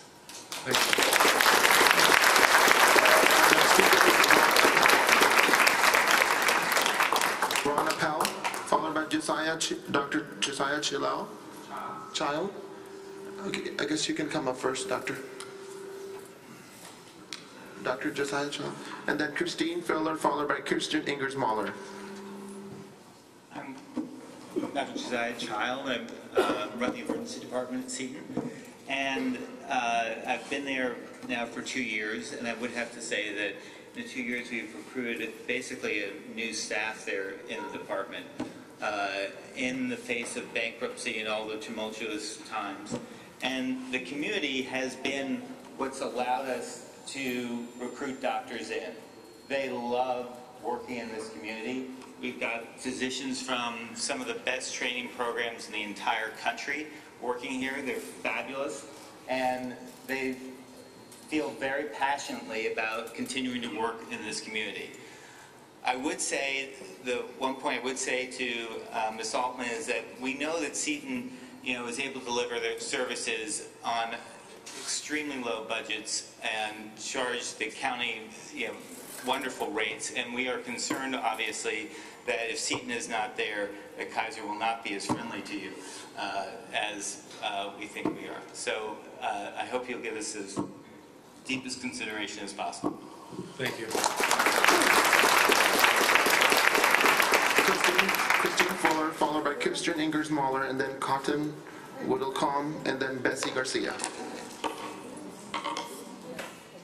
Good evening, Honorable Board of Supervisors and the council um, staff, and to everybody that is present. Um, I am Christine Fuller. I was born and raised in the city of Daly City, um, St. Mary's Health Hospital, and I'm a former employee of the emergency department. Um, Dr. Childs and I kind of just met, but um, I'm also an EMT. Um, to say that if the hospital closes and to put it in AMR's hands, all I think about is patients dying and litigation occurring. That should never be on our fire department. That should never be on a paramedic or an EMT. As a matter of fact, this is not even a county problem or a state problem. This is a Verity problem between bankruptcy courts. I had questions on the uh, prior study session where Verity wasn't even present. I asked about the cured cost of all the amounts pursuant to the section codes 363 and 365 of the bankruptcy court and why they keep denying the purchase agreements for the APA asset purchase agreement. The reason why I ask is because I'm also a realtor. So I don't understand the Attorney General guidelines are crystal clear. Why do they keep denying the offers? It is not transparent and it is not fair for any patient or worker or you know, just in general on the sense. I did ask what other county measures can be implemented um, about Prop 52 or Senate Bill 608. Uh, Supervisor Canepa, I commend you for your efforts. Ann Keegren, Tony, your entire staff, Bill Silverfard, they've been phenomenal in getting back to me with answers, but there's still um, a lot of answers that have not been answered. Um, is there a Court of Appeals process, or has this been directed to the Ninth Circuit Court? Um, you attacked my supervisor by saying he put you on the spot. Sir, I'm sorry, but you put yourself on the spot, and if you stand up and look at all these people, think about what you guys are doing. Accept a damn offer.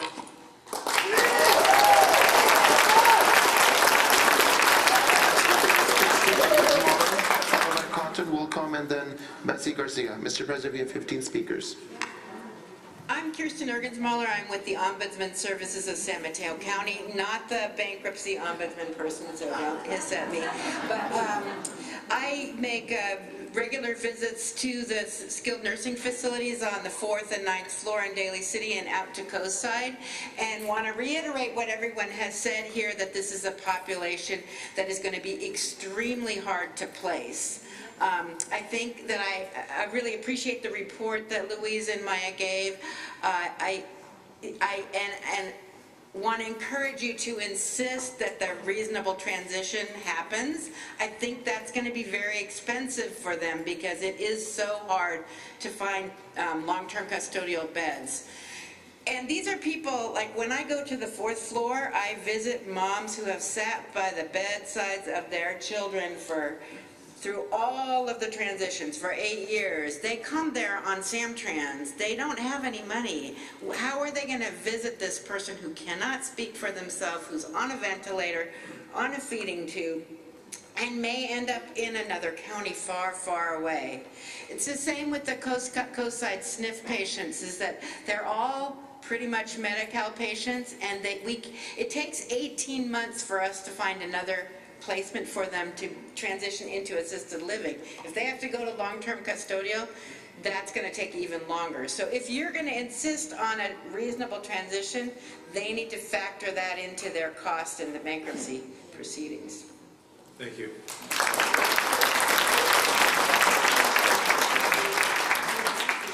Cotton Wilcom. Okay. Bessie Garcia, followed by John Avalos, and then Claire Chutan, and then Joe Manzano. Good evening, Supervisor. My name is Bessie Garcia, and I work as a charge nurse at Seton Medical Center, and I dedicated my 27 years of service, my life and career to Seton Coastside and its patient and community. I just want to let uh, Verity know that uh, ever since they uh, acquired the Seton Coastside and Seton Daly City, they promised the Attorney General that they will keep Daly City and Seton Coastside open. But for, for the first year and second year, and we have here facing bankruptcy already, they did not fulfill their promise for, from the Attorney General. And my mother also was a patient last year at Seton Coastside, and she died last year with, uh, with dignity because of the nurses there and the help of Dr. Hazel Hurst and the community. So, uh, and Seton Coastside is the only uh, lifeline medical service between Santa Cruz County and San Mateo and uh, San Francisco County. And most of our patients coming from uh, San Francisco, UCSF, Stanford. And most of them also has medical and homeless patients. Our patients' acuity is very high. We have a patient that has psychotic problems, behavioral problems, and they're hard to place them in other places. So they send them to us. So I'm asking the San Mateo County, the one of the richest uh, county, the city, to please uh, keep San Seton Coast site open and Seton Daly City. We need them.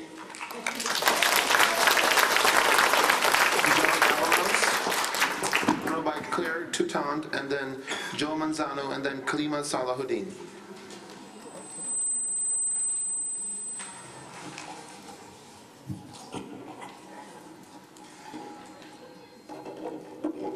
Good evening, supervisors. My name is John Avalos, and I'm a union rep with the National Union of Healthcare Workers, and I am proud to be here to represent not just NUHW members, but all the workers at Seton Medical Center who have been working with great, great anxiety about what's going to happen to our facility.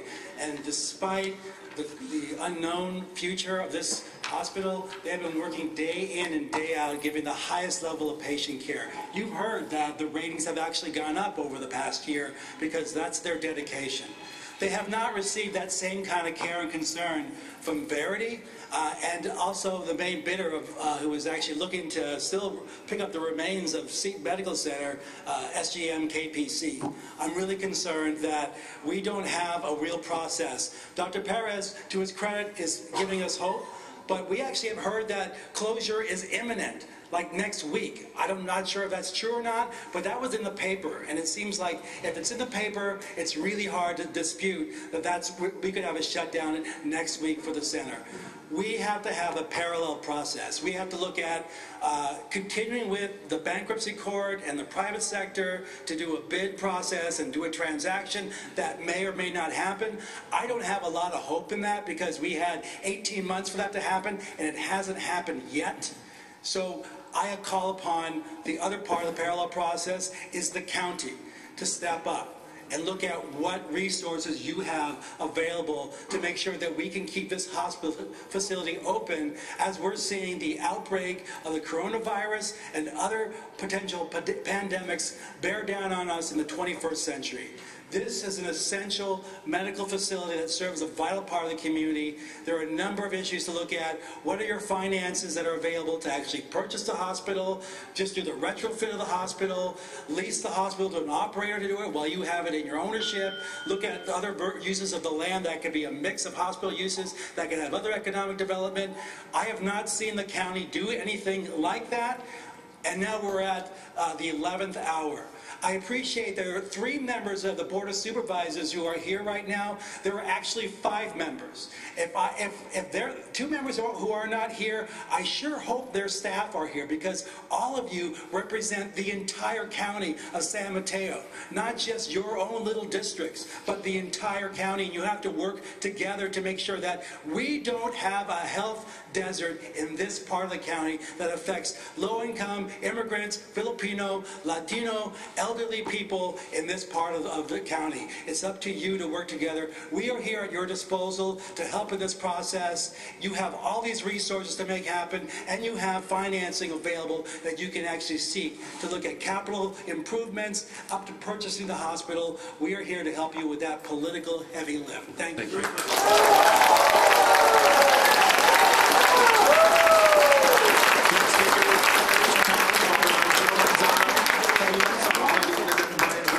Mr. Clerk, I'm not sure people can hear you. Oh, sure. I'll say it again. Thank you. Uh, Joe Manzano, then Kalima Salahuddin, followed by Brian Grady. Good evening. My name is Claire Tutot. I'm a psychiatrist employed at the San Mateo Medical Center, and I can attest to the difficulty in placing people, especially with psychiatric problems and Medi-Cal, in uh, long-term care facilities, and Seton Coast Side is a priceless gem. But I'm really here because I'm a member of the Mid-Coast Community Council, which uh, represents to the communities between Pacifica and Half Moon Bay along the Highway 1 corridor to the Board of Supervisors. We have twice taken positions on the closure or um, changes even to uh, Seton Coast side in particular. Uh, Beyond the the value as a uh, SNF, uh, Seton Coast side is really the only medical facility that's available to the people between, as somebody said, Daly City and Santa Cruz. Um, you- provide the only x-ray department, the only lab services, uh, one of the very few uh, physical therapy facilities, um, the only urgent care facility anywhere in that entire stretch of road. Uh, We are an isolated community. It's very hard for us to get out of the community because of all the tourist traffic that, that keeps us right where we are. If if there's a, a somebody has a heart attack on a Saturday afternoon, they're not going anywhere. Um, they, they, if, if Seton Coast isn't there, they're, they're going to get no services whatsoever. So it's a point that I wanted to emphasize that beyond everything that everybody's mentioned, the community of the Mid-Coast depends on medical care from Seton Coast side. Thank you. Thank you for your comment. Mr. President, we have 10 more speakers. Joe Manzano, followed by Kalima Salahuddin, Brian Grady, and then Dr. Barry Chaucer. Thank you very much. Uh, My name is uh, Joe Manzano. I'm a radiographer at uh, Seton Medical Center. In there 20 years. Um, It's apparent from what Dr. uh, Milhouse, Dr. Coleman Ryan, and others have said that uh, this hospital is, is, is the foundation of our community. That being said, closure is not an option. It really is not an option. Uh, I believe you said, uh, um, Ms. Rogers, you said that uh, has had a $59 million budget deficit for healthcare, is that correct? 57, 57. And Seton Medical Center has had a $60 million budget deficit. Well, if Seton closes and most of these patients are Medi-Cal, Medicare, what is the county going to do to absorb these patients? What plan does the county have in terms of being able to support these patients that now will flood the system itself? That being said, those who are now going into the system, my question is, what access will be provided for these patients once these patients are no longer uh, having uh, health care available to them uh, at Seton Medical Center. And lastly, I think the county uh, should consider uh, financial um, support uh, in lieu of this, this possible crisis for the county itself in terms of its financial commitment to the communities. Uh, That being said, as well, I had a question. Uh, What is it that the county, that the supervisors here have for supporting, um, what is it, for supporting um, the community in saying that this will stay as a coded operation for hospital operations only? The, the, the effects, the- let me just finish. The effects are obviously very clear in terms of the cost it will cost Daly City if Seton closes. And so the pressure is very clear that uh, politically and financially, that if Seton closes, what will happen to Daly City? So it's be very clear that we need direction from the county as well as from Seton and the buyers to um, come together and give us uh, some direction as to uh, what we can do. Thank you for your time.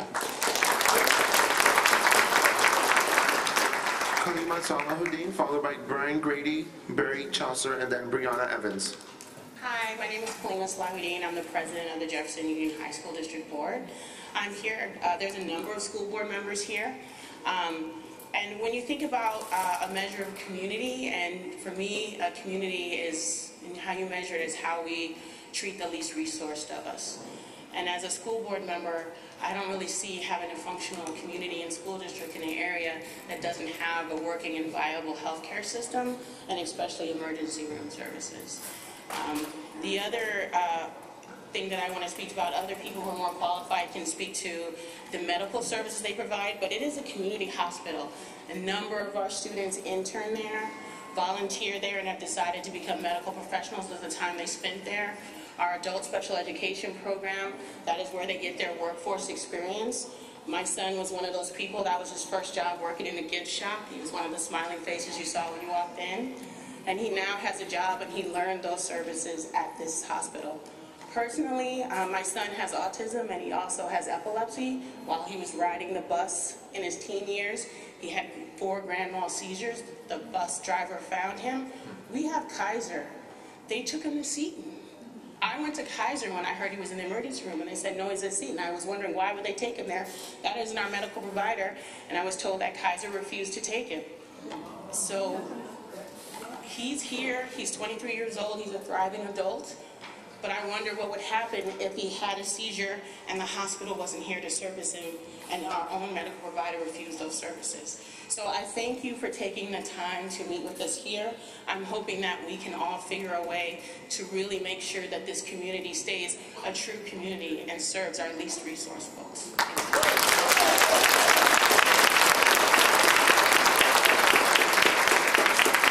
Brian Grady, followed by Barry Chaucer, Brianna Evans, and then Rosie Tejada. Hi, my name is Dr. Brian Grady. Um, I'm a urologist. I'm the chief-elect of the medical staff at Seton Hospital. I'm also the current president of the San Francisco Marin Medical Society. And um, when I heard about the study group, um, I had a different idea of what this meeting was going to be about. Rather than hear about the impact it would have if this hospital was to close, I thought it was going to be a meeting about ideas to save the hospital. So I'd like to thank some of the previous speakers, like John Avalos, for thinking about these kinds of things. Um, to say that Seton only has 13% market share in the county um, does not tell the story at all. Um, I don't have to tell the county supervisors how large the county is geographically, how diverse it is, and you cannot make blanket statements using statistics like that. If I had chest pain right now and there was no hospital here, it'd be at least 30 minutes, and in traffic it could take 60 minutes to get to the nearest hospital. What chance would I have? Um, and I understand very well that the transfer of a hospital from a private entity to a private entity is something that I, as a physician, all the physicians here, the nurses, we don't have a seat at that table. But the people who could have a seat at the table are our elected, elected officials. Maybe not the county level, but perhaps, definitely the Attorney General. And so one of the best pieces of advice, is, advice I ever had from a teacher in medical school was be prepared, and show up with a head full of ideas. So what I'm asking is that if we convene future meetings, that we try to think creatively about how to save this hospital, mixed land use, um, recruiting business partners who might be interested in having their own health care done here, some of the large employers in the south part of the county. So, thanks for your time.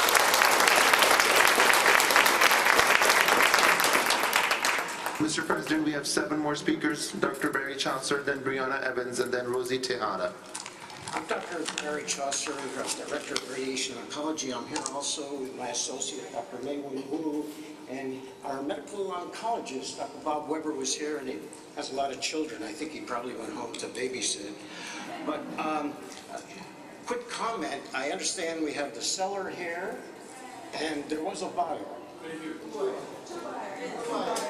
There's the family, there's the jail across the way. Can we put them both in a cell and not let them out until they reach a deal?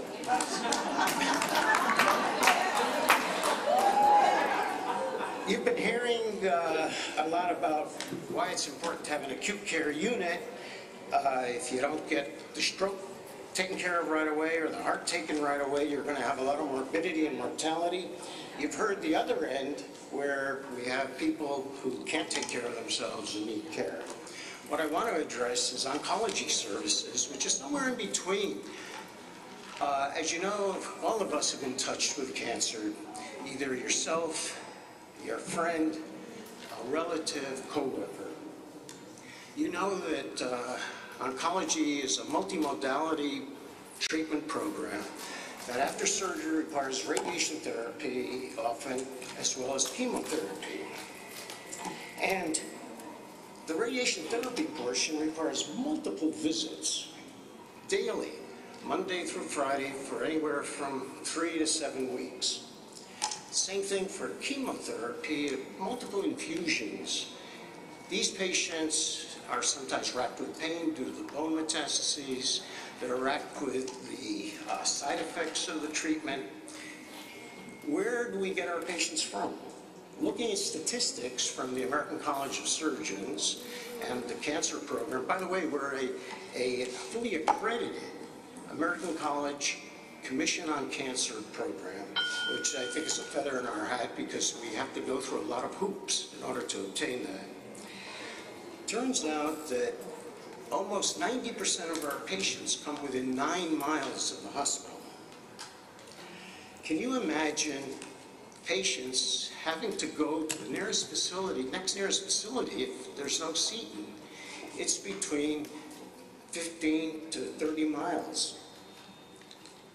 A single round trip, sure, if you need a doctor's visit, is not bad. But having to do this daily five to seven weeks, I think, is an added burden people who are already devastated by a terrible disease.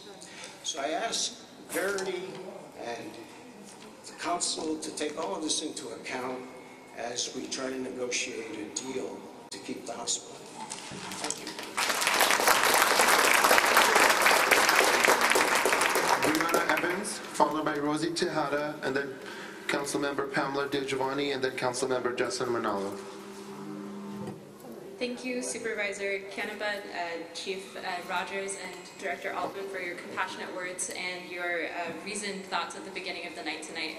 I also appreciate Supervisor Pine and Supervisor Slocum for your presence and engagement tonight. Many have spoken already on the potential risks to patients and possible gaps in transition plans, but since I haven't heard a lot about it tonight, I wanted to underscore something that's obvious to most of us, that unemployment is also a public health risk. We know from the NIH for over 30 years, they've very plainly recognized that unemployment leads to increased anxiety, depression, and substance use for many people. There's a financial risk to families, and financial stress can cause long-term issues for children and families that are difficult for us to quantify sometimes, but we see them. Looking around the room, I wonder which communities and which families in particular will be most impacted by the loss of good jobs at Seton. What are the demographics of Seton employees? Which groups are disproportionately impacted? As a county, we always intend to support all communities fairly. We can only do that if we take a clear-headed look at the data on who is impacted by our decisions. I appreciate the energy and the effort that's going into saving this hospital, to keeping it open. As a member of this community, I only have one ask in the process, which is to consider an equity lens as you take steps in support of Seton, its patients, its employees, and its broader community of families and neighbors.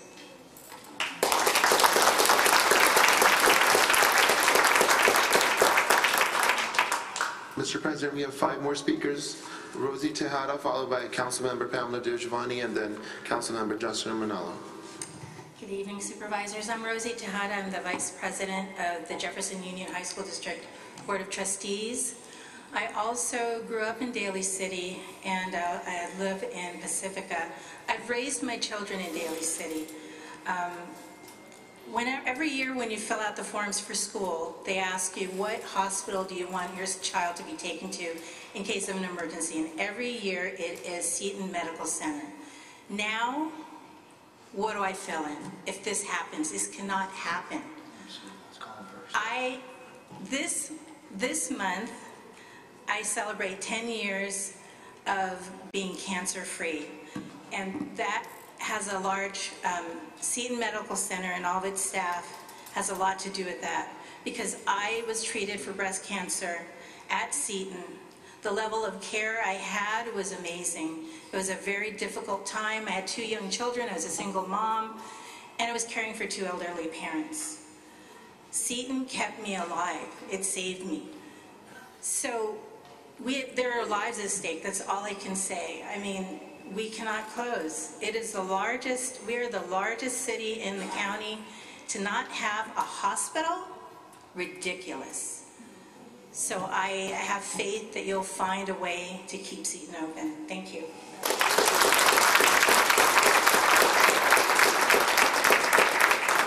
Before I call on Councilmember DiGiovanni, I I do want to call Mr. Sam Maizel. Um, He does have a speaker card, so if you want.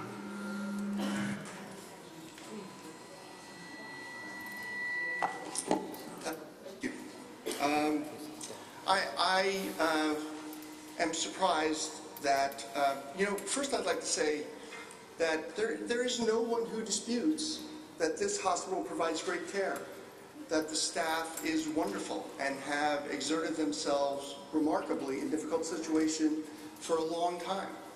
The issue is how do we fund it? How do we pay for it going forward? And the speakers who urged you to come up with some innovative ideas, I share their hope that you'll do so because Verity is a not-for-profit system. It will cease to exist when this bankruptcy case is over. It isn't a large hospital chain. It has three hospitals operating left, one of which makes money and supports all the other hospitals in the system. So if you have imaginative ideas, now's the time. And, and it shouldn't come as a surprise. These hospitals have been widely known to be financially distressed, one of the speakers before said it, for a decade. The Daughters of Charity struggled and eventually abandoned them.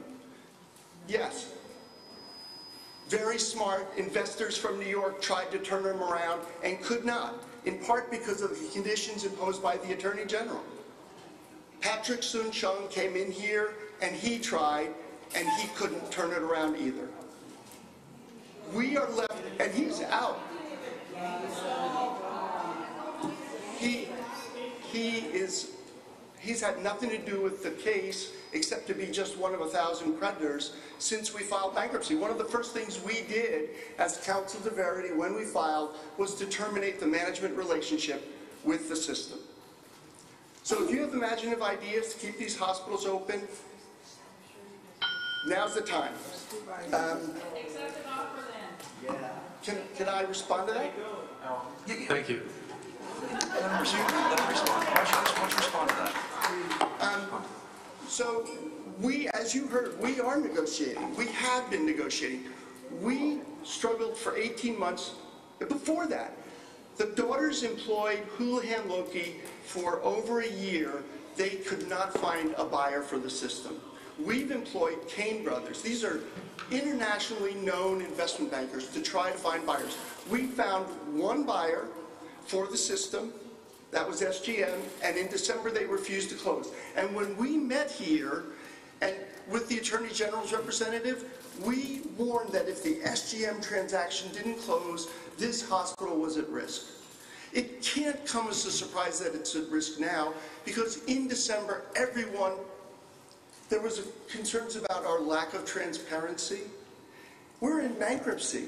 Everything we do is subject to court approval. We have filed papers, we have, this is the most public transaction for the sale of a hospital because it is in bankruptcy. Everything we do is scrutinized by unsecured creditors who are owed a half a billion dollars.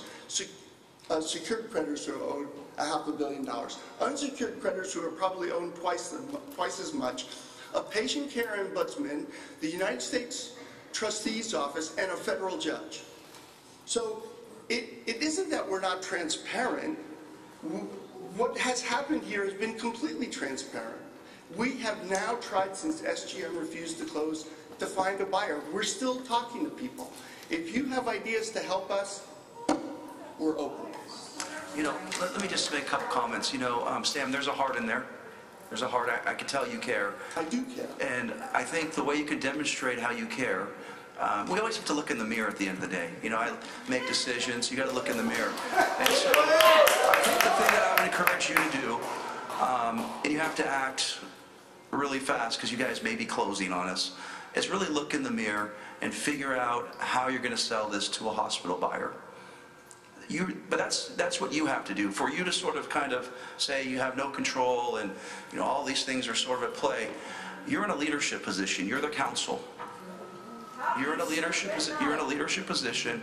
You're the council, and I think the right thing to do for this community, and I think for yourself, because I can tell it's, it's tough on you, is to really make sure that this is sold to a hospital buyer. Okay? Yes. I spent 20 years in the service of this nation. 15 years in uniform, five years overseas, a year in a war zone. I do believe in public service. I do believe in serving the communities of the United States. I have done that. But I also have to operate within the framework of federal law. And my clients' options here are not unlimited. My options are not unlimited. I can't rewrite federal law to do the right thing if federal law doesn't allow it. You'll figure it out. Thank you. Thank you. Mr. President, we have three speakers. Councilmember Pamela DiGiovanni, Councilmember Juslyn Manalo, and then Dr. Edgardo Alikaway. Thank you, Board of Supervisors, for being here tonight. I really appreciate it because you know that that we are one community together in whatever issues we face, whether it's sea level rise or whatever we do. And we have a pandemic coming, and we know that we want everyone's lives to be saved. So it's unacceptable that he stands here today, when I heard him at Colma Community Center, and he comes there today. The reason he's in a federal position and can't say anything is because he got, they got themselves there to begin with without being transparent and not helping us to begin with. We have a buyer here, and the doctors have even flown down and talked with the Apollo Group, and Dr. Perez has all the information, and then, and then why doesn't he accept it? Well, we know that the Attorney General said, okay, we give you six years, okay? So we got six years. So what is their plan after six years? I would ask you. Are they going to try to sell it on who they want to sell it to? And then they try to do like a entitlement and then, and then try to make it sure like a development? Because they can lawyer up and after the six years and they try to do that to us. But I ask you, because I know you can do it, is that we come together and I know, give us, I know we have, we have to take action. We cannot like, this is great that you're here and the other two were not able to make it, but take it back to your colleagues and say, we have, what can the county do to help us now? Because these people's lives are in line, they're under a lot of stress, our nurses, our healthcare workers, our physicians, our community, all of us together are my colleagues because it's weighing on us and I know it weighs on you because I know I know you guys personally and very humble. So I ask you not to believe, which I know you're very smart, all of you, not to believe everything that is saying on what who they want as a buyer because you already know actions speak louder than words and those actions to me are appalling and um, and, and and saying to them that they don't care. They don't care. They really don't care about our community. But I know you do, and you'll help us in whatever way you can, in your reserves or whatever you can, uh, with your other colleagues. So please, we have to come together now, because we're all community together, and they deserve it, we deserve it, our lives depend on it. And Engine 92, before I stop, is, sir, is the most used engine in the county. It has the most, um, how many runs?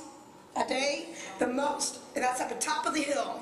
So we have daytime population at Serramonte Mall, and if we have an active shooter or anything else, where are they going to go? Our daytime population is from everywhere. Thank you very much.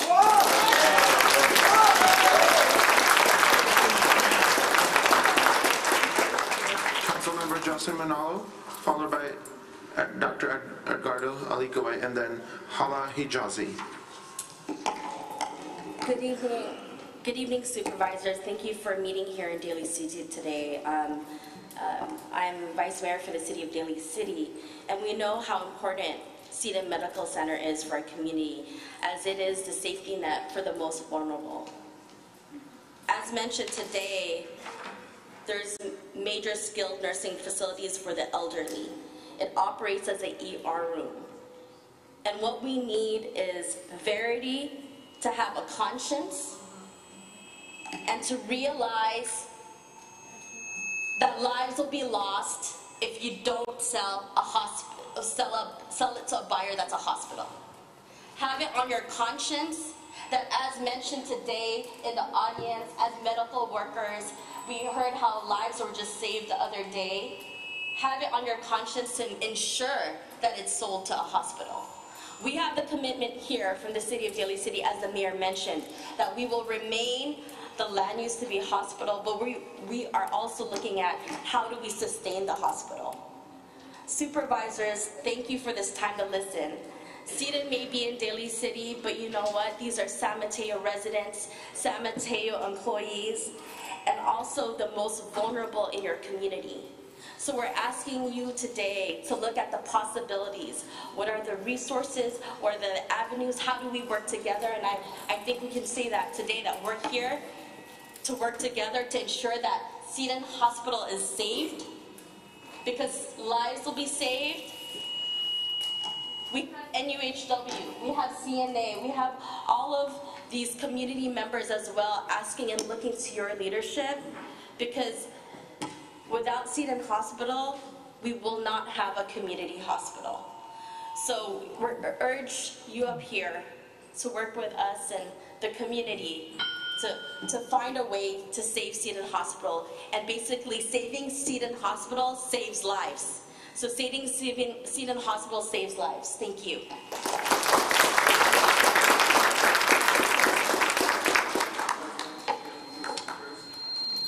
Mr. President, we have three speakers, Eduardo Alikoway, Hala Hijazi, and then George Tinetti. I am Dr. Edgardo Alicaway. I'm a neurologist at Seton Medical Center for 23 years. I am a first-generation Filipino immigrant. Given the chance, opportunity at Seton Medical Center to work there as a private practitioner, and I stayed because I think I belong here. Like these other people. I just want to impart to you that we are a center of excellence. And losing this program will be very detrimental to our county. I've been a program, a stroke uh, director for 20, uh, for, for 12 years. I've been, I, uh, I've been um, the internal, uh, in internal medicine uh, as chief, chief of medicine for, for a year. And I just want to tell you about our program, which I love so much. It's, it's, it's, it's the stroke program. We are a primary stroke center.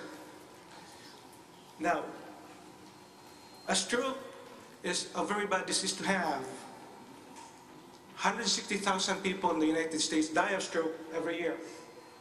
800,000 new cases is the leading cause of disability. One out of 20 deaths is related to stroke. Okay? 50% of survivors will have limitation of mobility that will impact their daily life. We are a center that is giving the chance to our community to be able to minimize that impact of disability.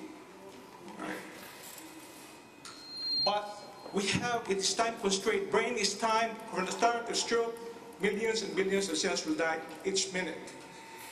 So patients should be there within the four and a half hour period, but we have to do tests within the one and a half hour period. Now, we are able to do these things higher than the benchmark in the country. The benchmark for doing a CAT scan from the time the patient goes to the emergency room is 20, 20 minutes. We do it in 10 minutes. Doctor, you need to wrap up. Yeah. So, so what I'm saying is time constraint. We need to save people. A lot of people who come over, 38% are, are, are walk-in patients who are treated for stroke. Okay? And we don't want to lose that. How, how, how can they have this care if they have to go far away to have their, their, their care taken gone? And, and uh, like I said, people die. And we want to keep our, our hospital. That's all I'm asking.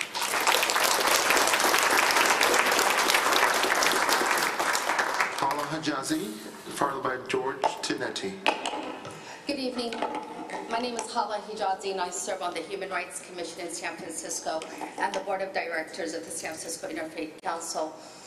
I can tell you that I was born somewhere else and came here and immigrated, and Seton was our only hospital of choice. And for immigrants that had language barriers, Seton was our number one and only choice. I can tell you I'm the oldest of six children, and many of us had many emergencies that landed at Seton Hospital. But I'm here to tell you that Governor Gavin Newsom has declared a state of an emergency this afternoon in response to the coronavirus, crisis. Public health events such as these pose a national security threat and priorities. This is not just a public health, but also a national security. Public health is key to the national security and well-being at home as well as abroad. SEED must be available to respond and equipped to deal with the known and unknowns. We need all the ICU beds and long-term care beds with ventilators possible. I urge you to work with Governor Newsom, AG Becerra, all of our senators to ensure a full operation of Seton Medical Hospital. Thank you.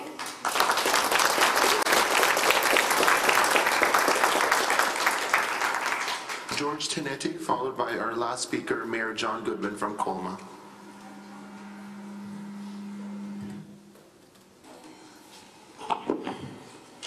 My name is George Tinetti, and I've been working at Seton since 1971. My whole working life. 16 years old was when I first hired. I'm speaking from the heart in this case. This Verity says that they've been transparent with whatever they told us. That's about as a lie as you can get, as far as a lie you can go. We have nurses, we have people crying today because of what they heard from the board meeting that came out at both locations, Seton and Seton Coastside.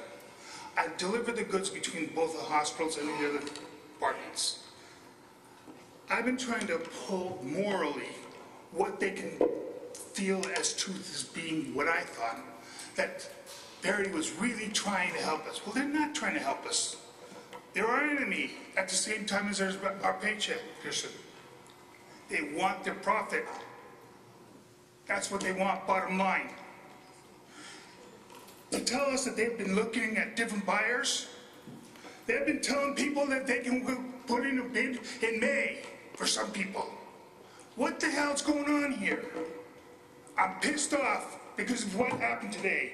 You've got newspaper articles from the Chronicle, Examiner, and they're not even putting out the facts the way they're supposed to be putting them out. We're not a 350-bed hospital. No longer. What the hell? We're in a world that we need to be honest with you. Put out the truth. Give us what's going on. We are people. All of us who work there. We're friends. We keep telling each other, hang in there, hang in there every day. That's what we say to each other. No, but we got Verity today saying they're going to close down in a week. That's crazy. Totally ludicrous. I am pissed off. This is wrong. We deserve better. We do what we can for our community. Help us get there.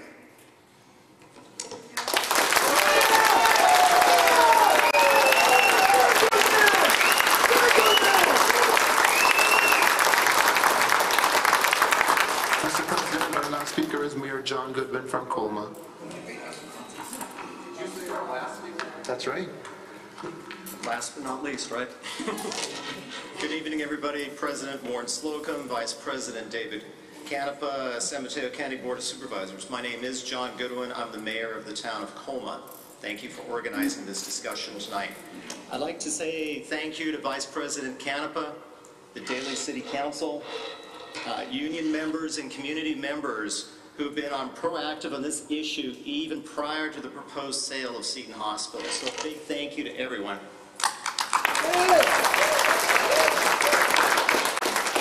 I'm from a small town. It's the smallest town that's in San Mateo, but we have a big heart. I don't know if anyone knows in here, I think, David, you know, but my vice mayor is in intensive care right now.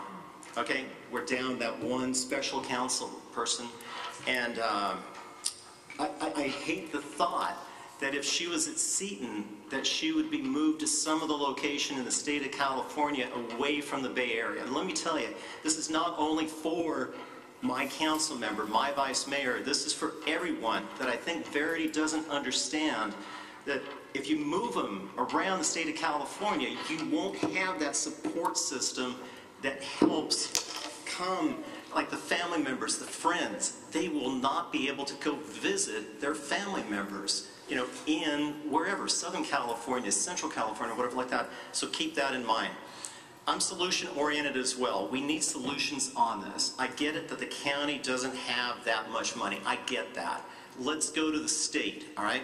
We need to get the state involved on this. The coronavirus is here. It's a pandemic. It's worldwide, right? It's not going away. All right, today at Costco, I'm there. There's no toilet paper for sale. Okay, there's none. All right, that's just the first sign. All right, I didn't even know that this hospital was actually like on its last days. I didn't know that coming in tonight. I had a nice long speech to try to save it. I still want to save this hospital. I still want to fight for this hospital like everyone else in this room right now. Let's go and ask the state for money if we have to, all right? If you can get out anything from San Mateo County, give it to Verity or give it to the bankruptcy court. I don't care. Keep this hospital going. We need to protect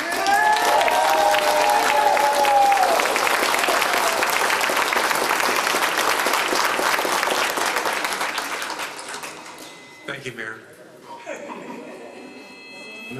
Mr. Canepa, do you want to?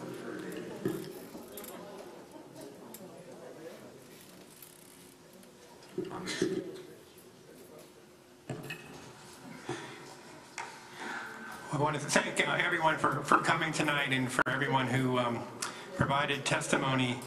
Uh, The medical staff is, is really remarkable. Um, It's hard to imagine how hard, hard this is to be working at, at Seton right now.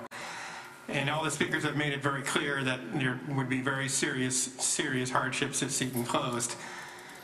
Uh, The loss of the long-term uh, skilled nursing beds, I, I think that's like 20% of our beds in the county. That's, that's a big deal. The uh, subacute folks, um, I have a constituent, I'm from Burlingame, but I have a constituent that has a, a son who occupies one of those beds, so I learned a good deal about the subacute. And th- that's very, very, very difficult. Uh, as I said earlier, in, in, in so many respects, the root of this problem is our broken federal health system that doesn't pay providers uh, to treat these patients at the, the, the funds that they need. And as you've heard, we're wrestling with that in our own system here in the county, facing $57 million deficit because of the low federal reimbursements. And I actually foresee this uh, deficit growing. We're laying people off. So we face some, uh, we face these same structural problems. But I, I, I leave the meeting tonight much more um, encouraged than I did coming because of the testimony about willing buyers, uh, about Dr. Perez's comments, and remarks that a deal could be made. Um, I think Verity has heard loud and clear that a deal needs to be made. And it, it, to my mind, not only does a deal need to be made, but a plan needs to be put in place so that Seton can prosper in, in the long, long term. Um, you know, this might not be popular to say, but I think there probably needs to be some relaxation of some of the Attorney General conditions. Um, I do think something else has to be done with the site, you know, with real estate development. Um, operators from the daughters on have, have struggled mightily. And, you know, ultimately, somehow, somehow the numbers have to add up. So it seems like the, it seems like there's, there's still hope here.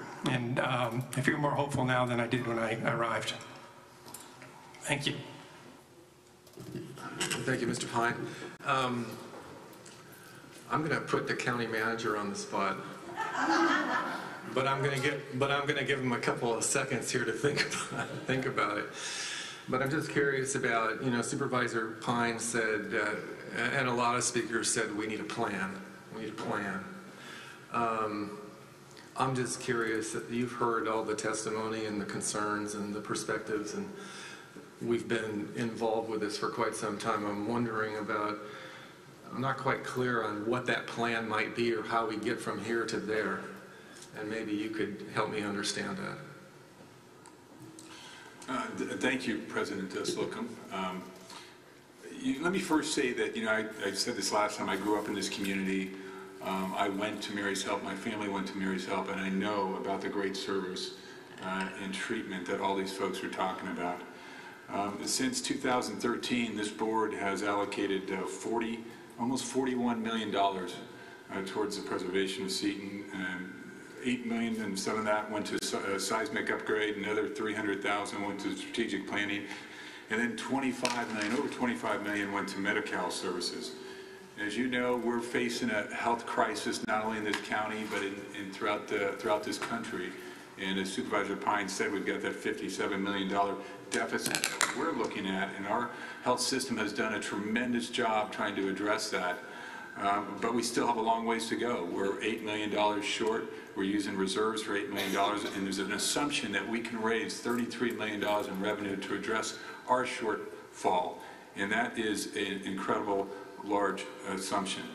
Um, But we are trying, and we understand the, the value of service um, throughout this county and the necessity for services throughout this county. And that's why this, this board has made a capital investment in healthcare services time and time again in this county, and you continue to do so in Cordilleras and in the medical center and the South San Francisco clinic that, that, that will be built. All those are capital investments throughout this county.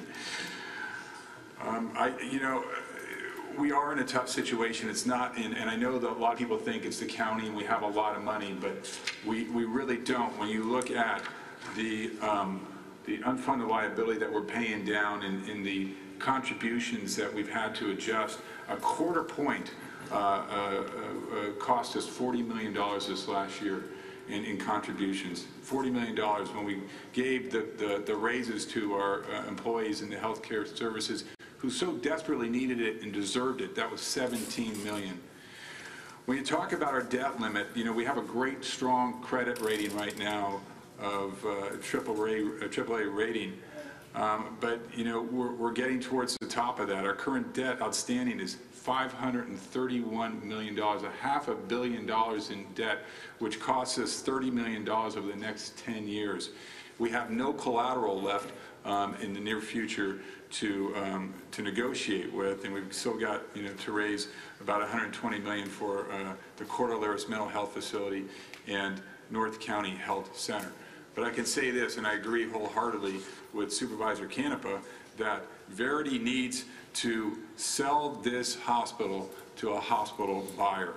Um, and I would say with that in closing that, you know, we, you know, we could um, be at that table and, and work with, work with them to see if there is uh, some solution here. We do have uh, still some money set aside for seismic that if this board so chose, uh, we could certainly um, allocate towards Seton in some fashion. Um, So I would take uh, direction from the board on that, and uh, um, if so instructed, I would come back with, uh, with some type of uh, plan. Thank you, Mr. County Manager. I'm just curious if you could just amplify on one point for me, just for my own understanding. You mentioned that uh, if you were directed by the board, that we could work with the players involved. Is that right? Well, we would sit, yes, we would sit down and, um, and see, uh, I can tell you this, and, and this may um, be not what certainly many people in this crowd want to hear. We cannot afford to buy this hospital. We just can't afford to buy it. Um, We are, you know, like I said, we've got a $57 million deficit that we are, uh, it's a structural deficit that we have got to solve to keep our operations, and we're cutting operations and we're laying people off. Um, and we're trying our best to maintain services. But to the extent there is a smaller part that we can play, I mean, that would be something that, you know, um, we could bring back to the board if the, if the board was interested in that. Thank you. Um, Let me just thank um, Supervisor Canepa, Vice President Canepa, uh, for his leadership on this issue. I know he's spent countless hours uh, working this issue, and I know um, he's just a a tireless advocate for this community and for Seton. And uh, I think he's helped educate all five of us uh, about um, this topic, and we appreciate Supervisor, your leadership, and thank you for bringing us all here to Daly City. Great, thank you. First of all, first of all, let me- let me thank you um, personally, on a personal level. Um, First of all, for being here. Thank you Supervisor Pine for being here. Showing up means a lot, and I want to thank you especially, you know, your staff. Um, We're on the verge of shutting down, and I can't get that out of my mind. We've been talking about buyers for forever. Now, we, you know, we hear there's another buyer. I think, and I hate to say this with all due respect, and I, I, I thank staff for being here, it's really truly the tale of two counties. You know, I got an email um, the other day, and what the email said, and, I, and I've heard, I talked to a lot of you folks, is that some of you feel forgotten. You feel forgotten. And, you know, it pains me that we always feel like we're not getting ours, but I think there's a couple solutions I think the board warrants consideration. Um, you can't put a price on people's health. You just can't. And us not having this hospital would stress the system, but in addition, um, in addition, sorry about that. Um, in addition, I have several options that I want to propose to the board and hopefully provide direction uh, to the county manager. One, I think we should explore um, the county um, acquiring the hospital. And I think we should do it as uh, Santa Clara County had done. I know you had, you're nodding your head there, and we should do that. We should look at lease revenue bonds. So I think that's critical. One, I think we should look at a partnership um, with the buyer uh, to help financing. I want to understand um, in greater detail, and you said, Mr. Callagy, that you'd like to sit down with the potential buyer and seller. What is the gap that we're looking at? And what is the role that the county can play in filling that gap?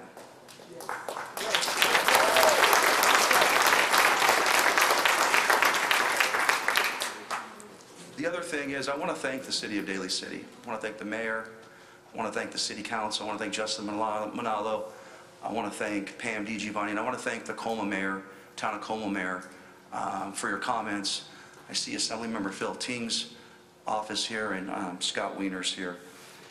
You know, I think we really want to make this to make this work. I think we're interested, and not to speak on, on behalf of the council, but we're interested in seeing what we can do to utilize the land so that it works outside of, you know, it just being um, a- an acute care hospital. I want to talk a little bit about funding sources that are worth consideration. Measure A was passed specifically for healthcare. That became Measure, Measure K. The dollars that were being referred to, you know, in 2017, when I was on the board, we approved um, $15 million, and that was for seismic. Of those dollars that are left, there, it's $6.9 million. I got to be quite frank with you, $6.9 million is a lot of money, but it's not a lot of money. We need to look at Measure K dollars uh, to potentially um, help fund this. The other thing is, we need to really look at um, our ERAF dollars. I know there's been, you know, some adjustment, but these are sort of the funding sources that we need to look at. We need to be creative. Now, there are some folks, and, you know, I understand it. You know, every time I travel to Redwood City, it's like going to a different world. You know, y'all, we grew up here, right? We grew up next to San Francisco, Colma, South City, and, um, you know, it's just different because we're, you know, we're from here. And so I see what the hospital means, and I just want to share with you a couple stories. Um, the first story is, um, you know, my wife, my wife had said to me, you know, I always see all the elderly people getting off the bus. And they get off the bus because whether they're getting, you know, they're getting, you know, care at the hospital, but it really does, does serve the elderly. You know, we talk about the Medi-Cal and Medicare. I mean, we have a responsibility as a county to take care of those people. We do, and we do that in our medical center. And that we should take that responsibility on. And I'll just tell you a couple other stories. Um, my grandmother was recently um, in the hospital. Uh, she's 94 uh, years old. I forgot her doctor. I want to say Coleman Ryan, but it's not Coleman Ryan. Um, but one of the doctors said, said if she didn't go to Seton, it could have been much, much, much, much worse. And she stayed there for three days. And so when we talk about numbers and we talk about finances, that's important. But what we really have to think about is the people behind that. And sometimes we get, we, we get lost in that. So I'm going to ask for the following. Um, and again, it's, it's, it's, at the, it's at the will of the board, um, direction of the board. Um, I'd like us to look um, at the, the acquisition of the hospital, partnership with the buyer um, to help with the financing, um, to continue to work with um, Daly City uh, on the land use. Um, I want to look at the funding sources, whether it's through Measure K dollars, ERAF funds, or, um, or, or the general fund. And so I think it's important. I think this community uh, deserves it. And, you know, if we don't do that, I think it's really a disservice. And it sort of reinforces the stereotypes that I've heard of us being forgotten in North San Mateo County. Thank you, Mr. Chair.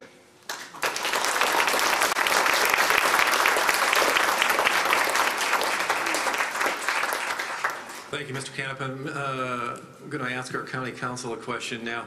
Um, Unfortunately, two board members couldn't be here um, tonight uh, because of illness, uh, not, not the virus, just pretty sick. Um, But I'm curious uh, about how we, Got a quorum. No, sir. we ha- we do have a quorum, but how do we involve them in this conversation? Do we have a closed session? What's that process look like? Well, a- as, you can certainly decide to uh, agendize a discussion uh, at a future board meeting while- when all five are present and have a, have a discussion about whether you want to agendize a future discussion or action on Seton. So you can wait until all five are present at a, at a near future meeting to have that very discussion about what is the will of the board to direct the county manager and staff. Through county counsel? Yeah. But we also have, um, there's, a- we have three members, correct? And So- so the three members, correct me if I'm wrong, three members can provide dir- direction because we have a quorum, right? Is that correct? That's correct, but I I was Okay, answering okay. Supervisor uh, President Slocum's question. Thank you. So, right, so today, of course, as, as everyone knows, this is a discussion um, uh, only agenda. Today, is this is, this is a study session, so per the Brown Act, no, you know, substantive uh, action uh, on Seton can be taken tonight. Um, But what you may do, um, per the, per the Brown Act, um, if there's the will of three members uh, tonight, um, sort of as a procedural housekeeping matter, um, you may take action uh, with three votes, there's three members here tonight, uh, to direct staff to place a, a specific matter on a future agenda for discussion or action. So if there's a consensus of three board members to, to direct staff to bring back a- a- an agenda item, you may. Thank you for that. I appreciate that. Supervisor Pine, did you want to comment on that at all? Or if not, it's okay. No, I, I would certainly um, think um, we need, we should have the five of us here, and we're, the meeting is in six days, and we should talk about it at that time. So I think, excuse me, hold on one sec. I think one of the issues, Supervisor Pine, thank you very much, I appreciate the audience's feedback, is that the hospital is going to probably close on Monday. And so that's our, you know, that's, our- not, not on, it'll- it has to go through court proceedings, but um, that they may take action on Monday um, to, to to close the hospital. So the sensitivity of this is um, time sensitive, so if I may, if I may offer um, something up, because we don't have, um, and it- it's not an agendized item. Right. But one of the things that I would suggest I do, we do because of the, the sensitivity of the matter is that potentially um, the board um, can meet um, an emergency meeting. That'd be good. Would that be awesome, right? Um, And maybe what we can do is we can schedule that meeting, um, and then with whatever direction we provide today, um, that would be sort of the, um, what would be discussed. And I think I've outlined what I'm interested um, at- about talking about um, on the agenda and making it an agendized item.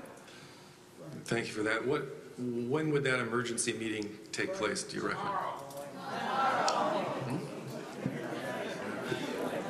I- I think the, uh, I think what we're talking about um, is, is a special meeting of the board, which would require 24 hours notice. Yes. A, a special meeting of the board requires a 24-hour notice. So Supervisor, what, You know, what we can do, um, what we can do at the pleasure of the board, uh, considering that there is possible closure, what I would suggest is that we take this item up um, on Friday, um, and then possibly at this location, just so it's easier for people to, to get to. It's hard to get to Redwood City after, after work. So um, that's my, my suggestion, Friday at a, a time that's convenient for folks. I second the motion. You cannot. thank you. So, So, um, go ahead. look, I need, you want me to provide clear direction? Um, So what I, I suggest we do is that, um, you know, we meet on Friday. Um, Do you guys meet or do we get to come? You get to come too. It's an open meeting. Why don't we, Friday at 6 PM? If that's at the direction of the board, um, that'd be much appreciated.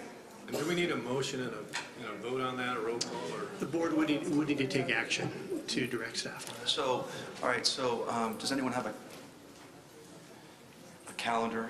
Um, So I move that on um, Friday, March 4th, that we have a special... I'm sorry, March 6th, excuse me. Thank you, thank you. Um, That, you know, I make a motion that we move, um, uh, you know, I make a motion that we have a meeting, a special meeting on March 6th, um, here at 6 PM at Daly City City Hall, um, to discuss the following items which which I outlined. Um, And I'll read them again. Um, The acquisition of the hospital by the county, a partnership with the buyer to help um, with the financing, and the third thing to discuss is to work with the city of Daly City um, on land use. What about the state though? Yeah. That's the motion on the table. Can I? Yeah. Can I ask you a question, Supervisor? I'm just curious about, I, I, I'm unfortunately didn't read or didn't know that the, that there was this imminent closing, and I'm not, not disputing that, I just didn't know about it, so it's a surprise. Um, But in any case, thank you. Um, I'm curious that your, your thinking, help me understand. We're not going to be able to allocate money by, you know, by Tuesday or whatever the closing date that What what I, you what I'm, mentioned was. what I'm interested in is Yeah. how we can um, potentially sit down with a uh, buyer and seller, provide direction, understand what the gap funding is, um, between pulling this, um, putting this deal together. And that's, that's critical. I'll- I will, uh, I'll second, I'll second that motion. I'll third the motion.